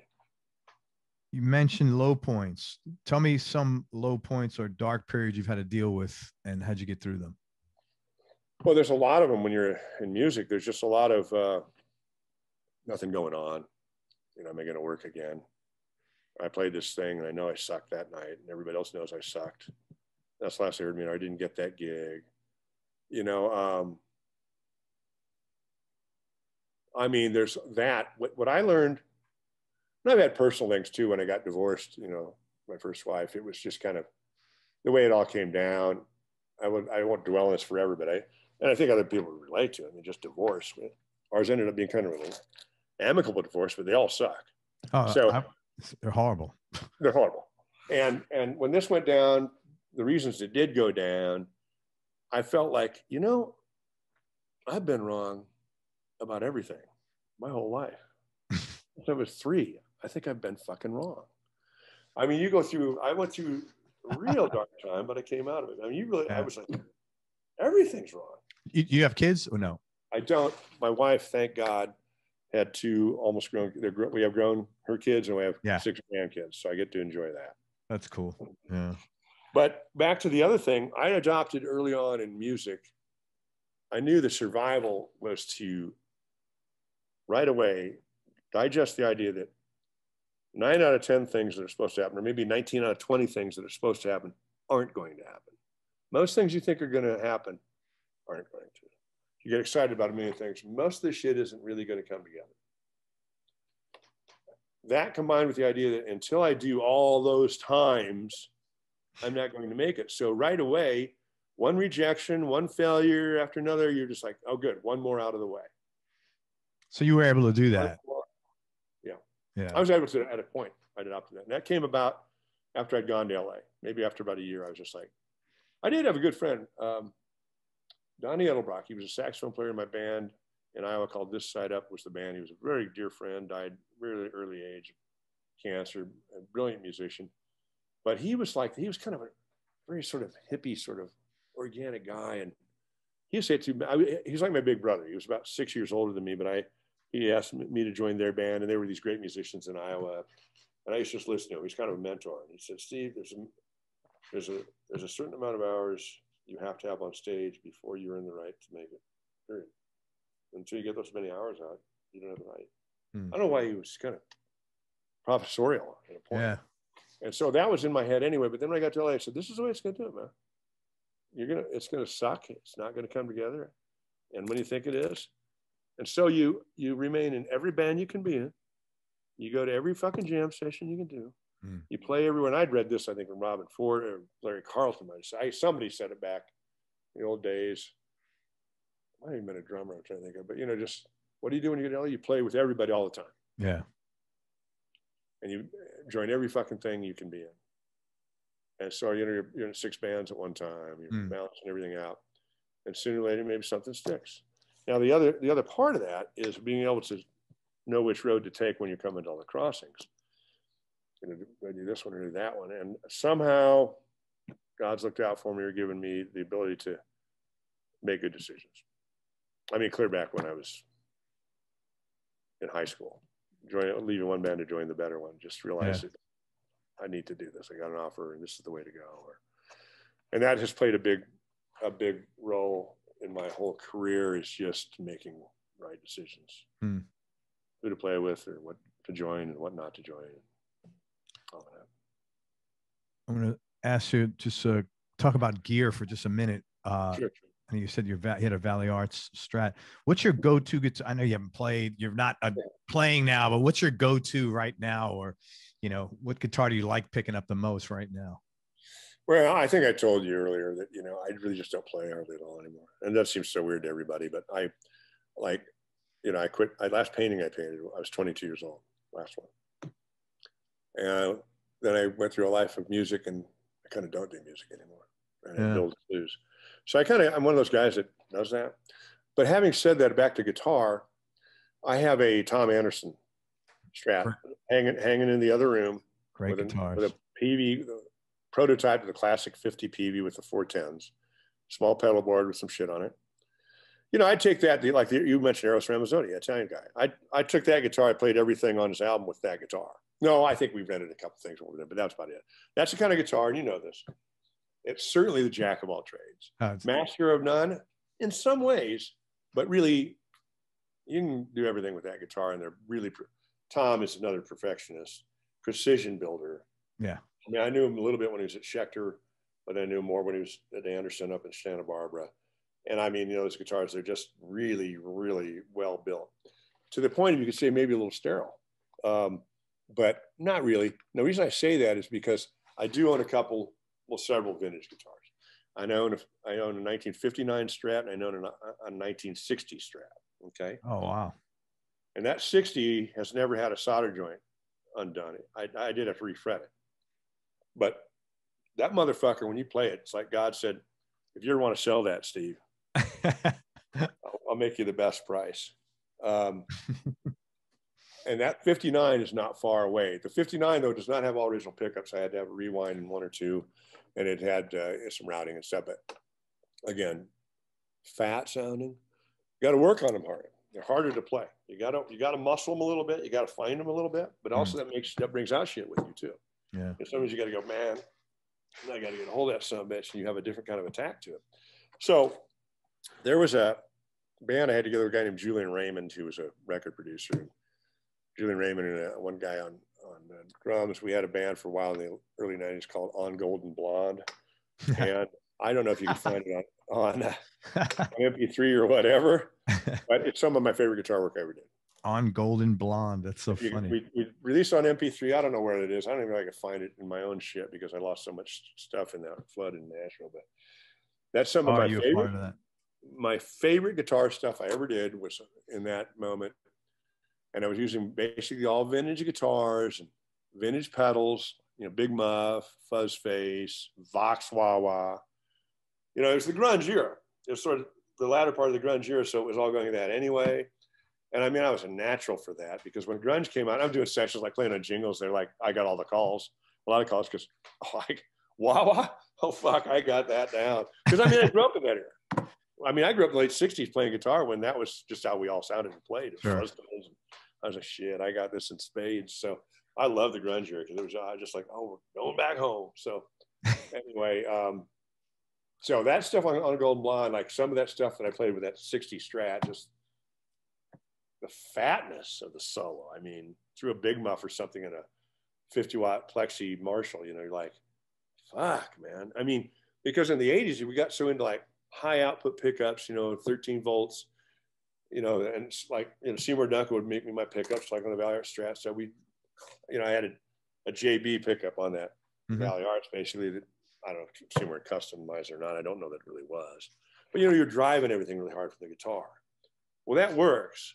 But at the end of the honest, when you're loud, you may not be hearing it really. But in the end of the day, when you're recording, you start to realize it gets a lot of mid range and kind of can be nasally. It's not nasally sounds really bad like that, but I'm just talking. It's kind of there's a narrowness to it. Where some of that older shit that had more top and bottom because mm-hmm. it wasn't driving it that hard, and you put that through like a fuzz tone to get the drive from something else after the guitar, like you then you listen to the recording like fuck that son of a bitch sounds like a Mack truck coming at you this big around. Yeah. And that was kind of like what, where I was at in the 90s. Like, let's just, you know, I, I wonder if I had done that on the Mr. Mister, but we just weren't doing that then. Yeah, that wasn't your thing. But, you know, and I had a, I have a, I still have a Gretsch Jet Firebird. It sounds good, but you can't keep it in tune. Even if you said you can get it out, out of a Nazi prison camp tomorrow, if you can tune this, you'd, you'd still be in So, um, you know, just, but I would do track, I would do sessions with that. We play a verse and I'd say, stop, you know, punch me and I got a tune. I do the B section, stop, punch me in and play the chorus because it's just always fucking going on too. But sounded great. And uh, what else do I got? I got uh, I got three gold tops. Um, oh wow! Two of them are 68s, but they have PA, they have real PAFs on them, and they're fucking killer. And then I have one that Mike uh, McGuire, when he, who used to own Valley Arts, when he was running the Gibson Custom Shop, he gave it to me when I went out with Whitesnake. So it's a it's a historic production of the 57, but I put real pianos in it. And that guitar, after the flood, really came to life. Interesting. And, I, I, and there's a lot of a lot of guys to say about that. That those, my fucking guitars were underwater for five days, and so, a lot of them pulled through, and a lot of them, and some didn't. But that one sounds better than it ever did before that.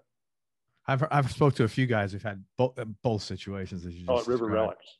Yeah. Yeah. Uh, what's your top three just for this minute, Desert Island Discs. Beatles White Album, Blow by Blow, Jeff Beck. Mm-hmm. Are You Experienced, Jimi Hendrix. Took me a long time to think about, it, didn't it? Yeah. Steve, tell me something that you want that you don't have now. Doesn't have to be something physical, could be any, you know.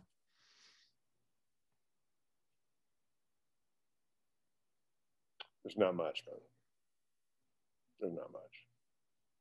I uh, I can think of some personal things that I won't share. Um, that would not even be that interesting. Um,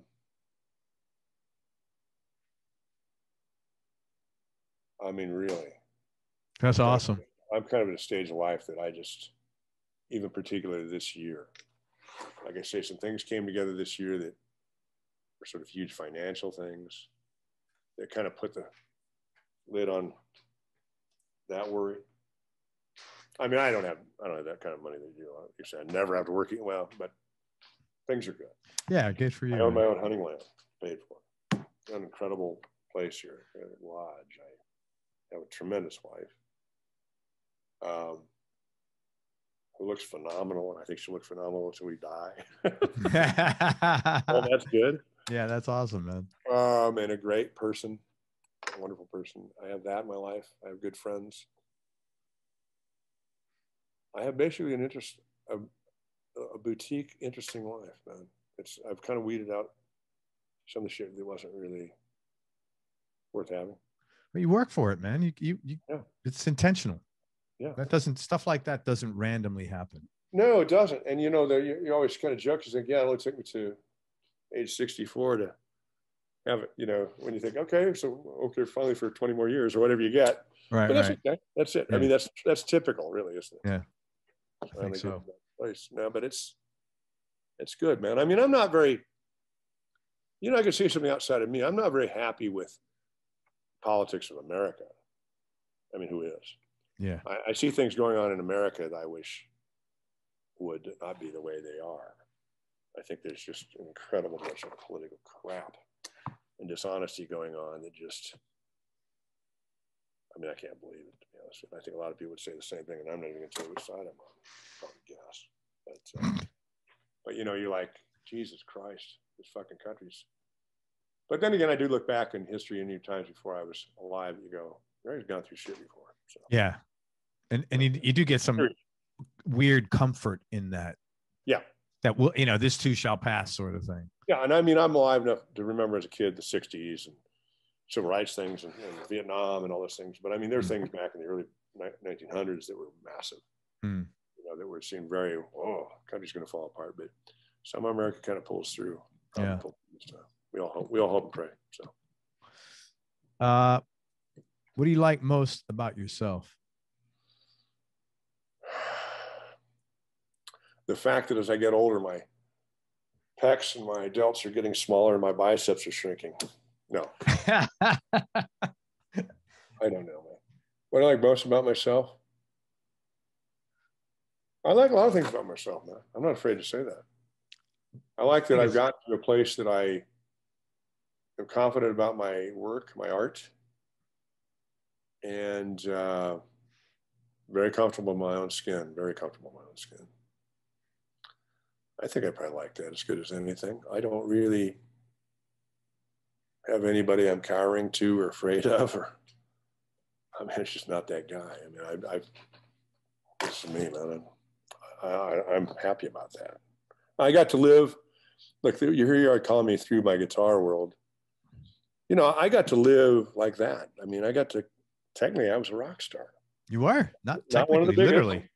Not one of the biggest, but literally, if I look back, I go, yeah, I was a fucking rock star. Yeah. And even less, or even aside from that, I mean, I got to be a successful musician. Right. For a long time. I mean, that's a dream. And so I've been able to move on to other things probably because I really got to have that. I've told people, I said, it's not quite like, I wonder if it would be like if I go, well, I know it was like if, you know. Now, did I accomplish everything musically I want to do? No. I think there's a lot of guitar playing about me that nobody knows about. Because, I mean, you know, you have to fit into whatever you're doing. Mr. Mister, I fit into that obviously well. Yeah.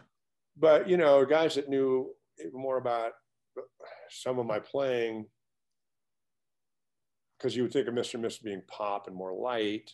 I had no idea right. all this yeah. other so, like it's like another life. Then you go, well, that's because I melded that into what was appropriate for Mr. Mister. And I look back and sometimes I go, yeah, maybe that was a little too heavy for what we're doing right there. I don't know.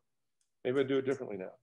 But you know, the, I'm very blues oriented, very much a blues guitar player. If I could sit, on, if I'm just sitting there playing one thing the rest of my life, it's going to be blues. Yeah, it's going to be one four five progression. Mm-hmm and and and, uh, and I'm fucking good at it. Um, I grew up with it.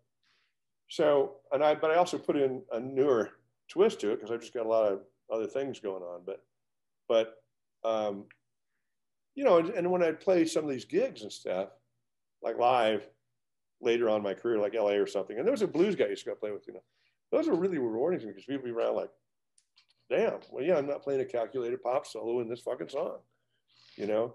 Yeah. So I think there's things that a lot of people never got to know about me. And I read, or my wife's my biggest fan and will read.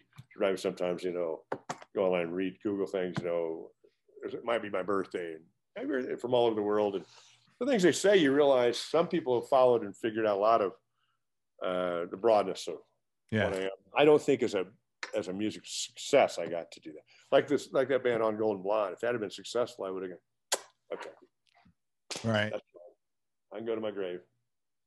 So it, not everything got accomplished, but a lot did. Yeah, man, for sure. Uh, you've traveled all over, man. What's your favorite place you've traveled? Western Nebraska. Right on. Um, out of the other places, oh gosh, I, I would I, sh- I would have I would have this answer normally. But I mean, if we're talking about out of the country, I mean, I remember like in Australia, but I was only there once a long time ago. Yeah. Um, I've been to Germany a million times. I, I used to always really like Germany. I, I, used to love England at a point. I don't know that I love England that much anymore. I was there not as long ago, and I'm like, eh, it's kind of changing. Um, God, where? Italy. You know, I spent a lot of time there. I was playing with Eros, playing with Vasco Rossi, and playing with Edoardo Bennato. So I had this moment for several years that I was over there as a hired gun. But I go do a record, I'd be there for a week and that was it. But then I, when I played with Eros, I was there for four months and they were okay. putting me up in Milan and I was doing shows with them. And Italy, it was a cool place. Now my wife, coincidentally, had lived three years in Italy in a previous life. And so she has experience. You know, we went back. We have her daughter was married to is married to a military guy. They were stationed in Belgium. So two years ago, we went and visited them. We took three days. We flew over to Italy and spent three days there. I didn't have the same experience there, but then also have to realize, yeah, and I wasn't exactly a rock star with people catering to me all the time. Yeah. it wasn't quite the same trip. But you had to uh, place your own order for food. Yeah, stuff, right, and we had a couple bad meals in Italy, which is like you have to work to fucking do that. We found a couple bad meals. I'm like, how do we eat a bad meal in Italy? They don't have. um, but anyway, now I mean, I I don't know, man. I've I've had great fun in South America. I had great fun a lot of places. Great fun in Florida when you're playing the first one of the first spring break concerts in Mister Mister. yeah, I bet you and did. we're just we're just on our second number one. It's like, yeah, things are good. This is good. yeah. Uh, Oh, just, I don't know. Just a few more. I've enjoyed a lot of places. few more questions. Toughest decision you had to make, or most difficult thing you've had to do? That's one question. Maybe I should have read ahead of time. I find everything else. I'm like, I you've, been, you've done you've done you've done great, man. Without without reading. Yeah, I'm better. I'm better on the fly, man. I don't like to think I should. A But, lot of uh, people say that, then they're like, "Fuck, I should have read the questions." I'd get scared of reciting what I thought I should answer. You know, like oh, Yeah. man. Also, I hate fucking reading. Anybody will tell you that. I've never. Read Do you really? Oh, I- I've never read a book in my life. I, no, And I write. I'm told that I'm a very good writer, and they say you're obviously very well read. I'm like, no, that's man. really interesting. I got all great grades in school because I knew how to get great grades and read the back of a book and make a book report on it, but I don't read. Wow. My best friend in the world since we were one month old went into academia. He was the president of the University of Nebraska for 10 years. Now he runs the Texas University system. He's the chancellor at TU. And we joke about it because we grew up together, two months old. But as a matter of fact, he was hunting with us and somebody, they wanted to know about me. And they said, Did you play guitar too, JB? JB, JB Norton. And oh yeah, we all grew up playing guitar. He said, but you know, when Steve was playing Jimi Hendrix, I was still working on Happy Birthday. and he said, but I was pretty good at book learning. you know that because he was always like, you know, and I was the guy that we know, oh, Farris, he never read anything, he doesn't read anything.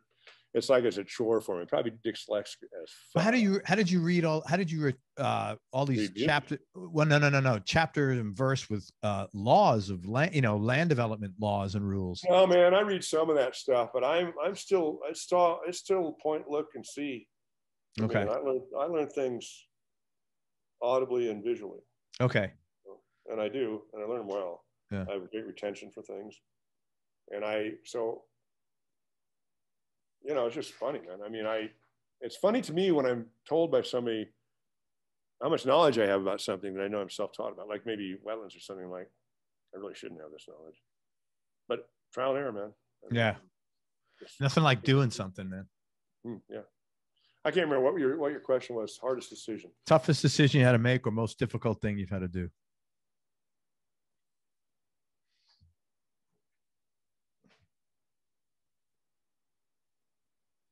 God, I don't know, man. I'm gonna get stumped on that. that's all right I'm really getting stumped. I've never.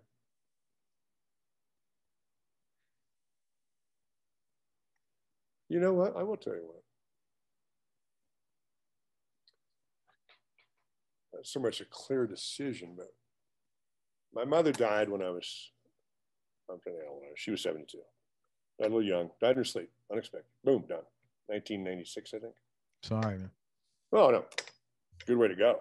yeah That's the point of the story because then my dad, on the other hand, went down the long, hard way. Not full blown Alzheimer's, but dementia. You don't want to go out that way. yeah And that was a few years in homes and facilities. And he used to say to me all the time, I want to, I want to just go live with you, you know, when he was cognitive, cognitive for a minute. But you couldn't do it. I can't him out here. I mean, I have to stand next to him the whole time. He's, he was that bad. yeah I do think that decision is always, I don't know. that's Sometimes tough. wish you could do, you wish you could do more. that's a tough one. Practically, you know, you can't. yeah But you know, you wish you, you know. And I went to visit him a lot. I brought him. I went. He, he was in eastern Nebraska, Omaha, which is five and a half hours from where I live. It's a long drive. I went and got him for Christmas one year when he's still a little bit. new. Brought him out here for Christmas with just him and the family, and it was. I'm so glad I did. that's good He wasn't together most of the time, but I will tell you this. Like the second morning, I'd forgotten to give him some of his uh, medicine, and we went out hunting with other guys. I guess he was unruly, and you know, I tried to give him a shower. He was taking a swing at me. You know, just it was all going fucking wrong. But um, got him calmed down again. And the next day was Christmas Day. And we had Christmas dinner with my wife and her two kids. And I think we had one baby then and, uh, and dad. And my dad, Roy Farris, anybody in Fremont, Nebraska would have told you was the best joke teller that ever breathed. He knew every joke and he was phenomenal at telling them, as were his two brothers, my uncles. They just were, that was part of life, is being able to tell a joke, being able to tell a story. They used to call it a story, but great. And so I'm sitting here and he just seemed kind of together that night. And I looked at him, I said, Hey, Dad, wasn't there an officer that pulled over a guy sometime recently? He goes, Oh, yeah. Pulled over. I said, Hey, sir, do you realize your wife fell out of the car 20 miles ago? And he said, Thank God, I thought I was going deaf. So you know, and so, and I said, and there it was, man, all the way through. And I just kept feeding him a few. He told six or seven jokes immaculately. And I was like, Jesus Christ. And then he, he always liked pretty girls. So we had the music on, and then he got up and he elderly could barely move. But he met dancing with my wife and with my wife's daughter. And finally says, I'm tired, time to go to bed. And they walked him out. He had a beautiful girl in each arm. And I thought, yeah. One of the great yeah. last moments of he was back. That's a good story, man. You're a pretty good storyteller yourself. Yeah, thanks. Uh, last question: What's the biggest change in your personality over the last ten years, and how much of that has been intentional, and how much has just been a part of aging? Oh, I don't think I do any of that intentionally. What's that? I don't think, that's, I don't think there's an intentional change. I think I have changed. I'm just getting older and life experiences changes you. You probably mellow out some. You know, I was always pretty fiery, kind of had kind of a hothead. Um, it, it takes a lot longer to get me to that boiling point now. You get older and mellow and all that stuff, and also realize what are the important things, what aren't. You know, that's a cliche, but I mean that's true. Well, it is very true, yeah. And so, plus, there's so much more satisfaction, self satisfaction in my life of the goals I've accomplished have amassed to be more and more things, that it gives you more peace. Yeah. So, no, I think uh, I'm happy with myself when I go into a room, you know, really. Once in a while, man, once in a while, I'll be uncomfortable in a certain situation with people because sometimes you just are going to be it's at odds or something. But even then, man, even when I go into people who like some meeting about something, maybe that would affect land under or something, I I don't get too flustered, man. That's good. And that's just life. That's life, man. That's just a lifetime of accumulation of finding yourself and being happy with yourself and happy with what you're doing, happy with the people around you. Well, man, let me. Uh, I just want to tell people what a couple of things that you're going. You have that might interest some others.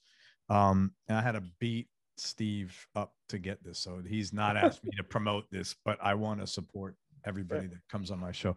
Uh, first of all, um, if you're interested in looking at some recreational property, especially in Western Nebraska, you will probably find nobody smarter than this guy to guide you through that process and educate you on what to do and what not to do, which might even be more important.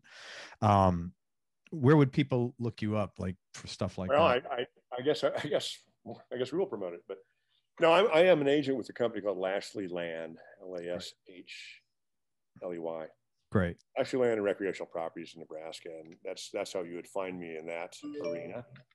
And it's funny because as a rock star musician, everything when you first start doing anything, it seems so pedestrian and so normal. You wouldn't do it. It's not artsy enough and anything. And I just fell into it because of my love for land. And yeah, become, it's become a really creative, well, it's an interesting thing. Creative in that I put together all these creative promotions on the stuff. I fly, you know, fly drones, which everybody does in real estate now. Drone it, write up about it, and make it. I'm still using my art, you know. Yeah. And that's why it's working. So I'm at one point I thought, why the fuck not?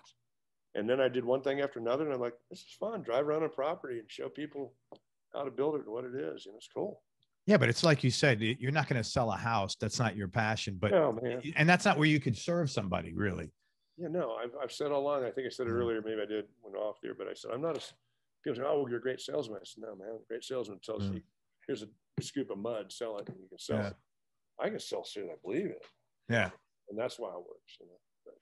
And also, uh, if you are interested in getting, you know, property, uh, I don't even know the right words to get it developed. You can develop, it developed, and what is it called when you create well preservation of wetlands? Or yeah, I, I have a company called Farris Hunting Development LLC, and I through that I developed these lands. Mostly, I've developed my own, but I've I worked in four different states for some different people, helping them develop the lands. When I say develop, it's not develop in the common sense of like there's no strip malls. Yeah, we're not putting building. Yeah, but uh, but it's this is land habitat restoration. And yeah. To be honest with you, what I do with my hunting properties, I, I tell people, I said, I'm a golf course designer. So what do you mean? I said, man, I'm the guy that's good at golf and says, I've always wanted a hole to do this. So I might do restorations of these meandering waterways known as wetland sloughs. And I was joking, yeah, but if Mother Nature were a deck on her, she'd make it bend a little more here because it'd be hot, you know. And I, oddly enough, one of my members of my club is a guy named Tom Lehman, who was the top golfer in the world in 1996 or something. I can't remember his year. I don't play golf, so I'm, he's my good friend and my hunting member. But he's he does he designs golf courses because he's uber famous. Right. But it's the same kind of shit. It's not doesn't make them the land engineer.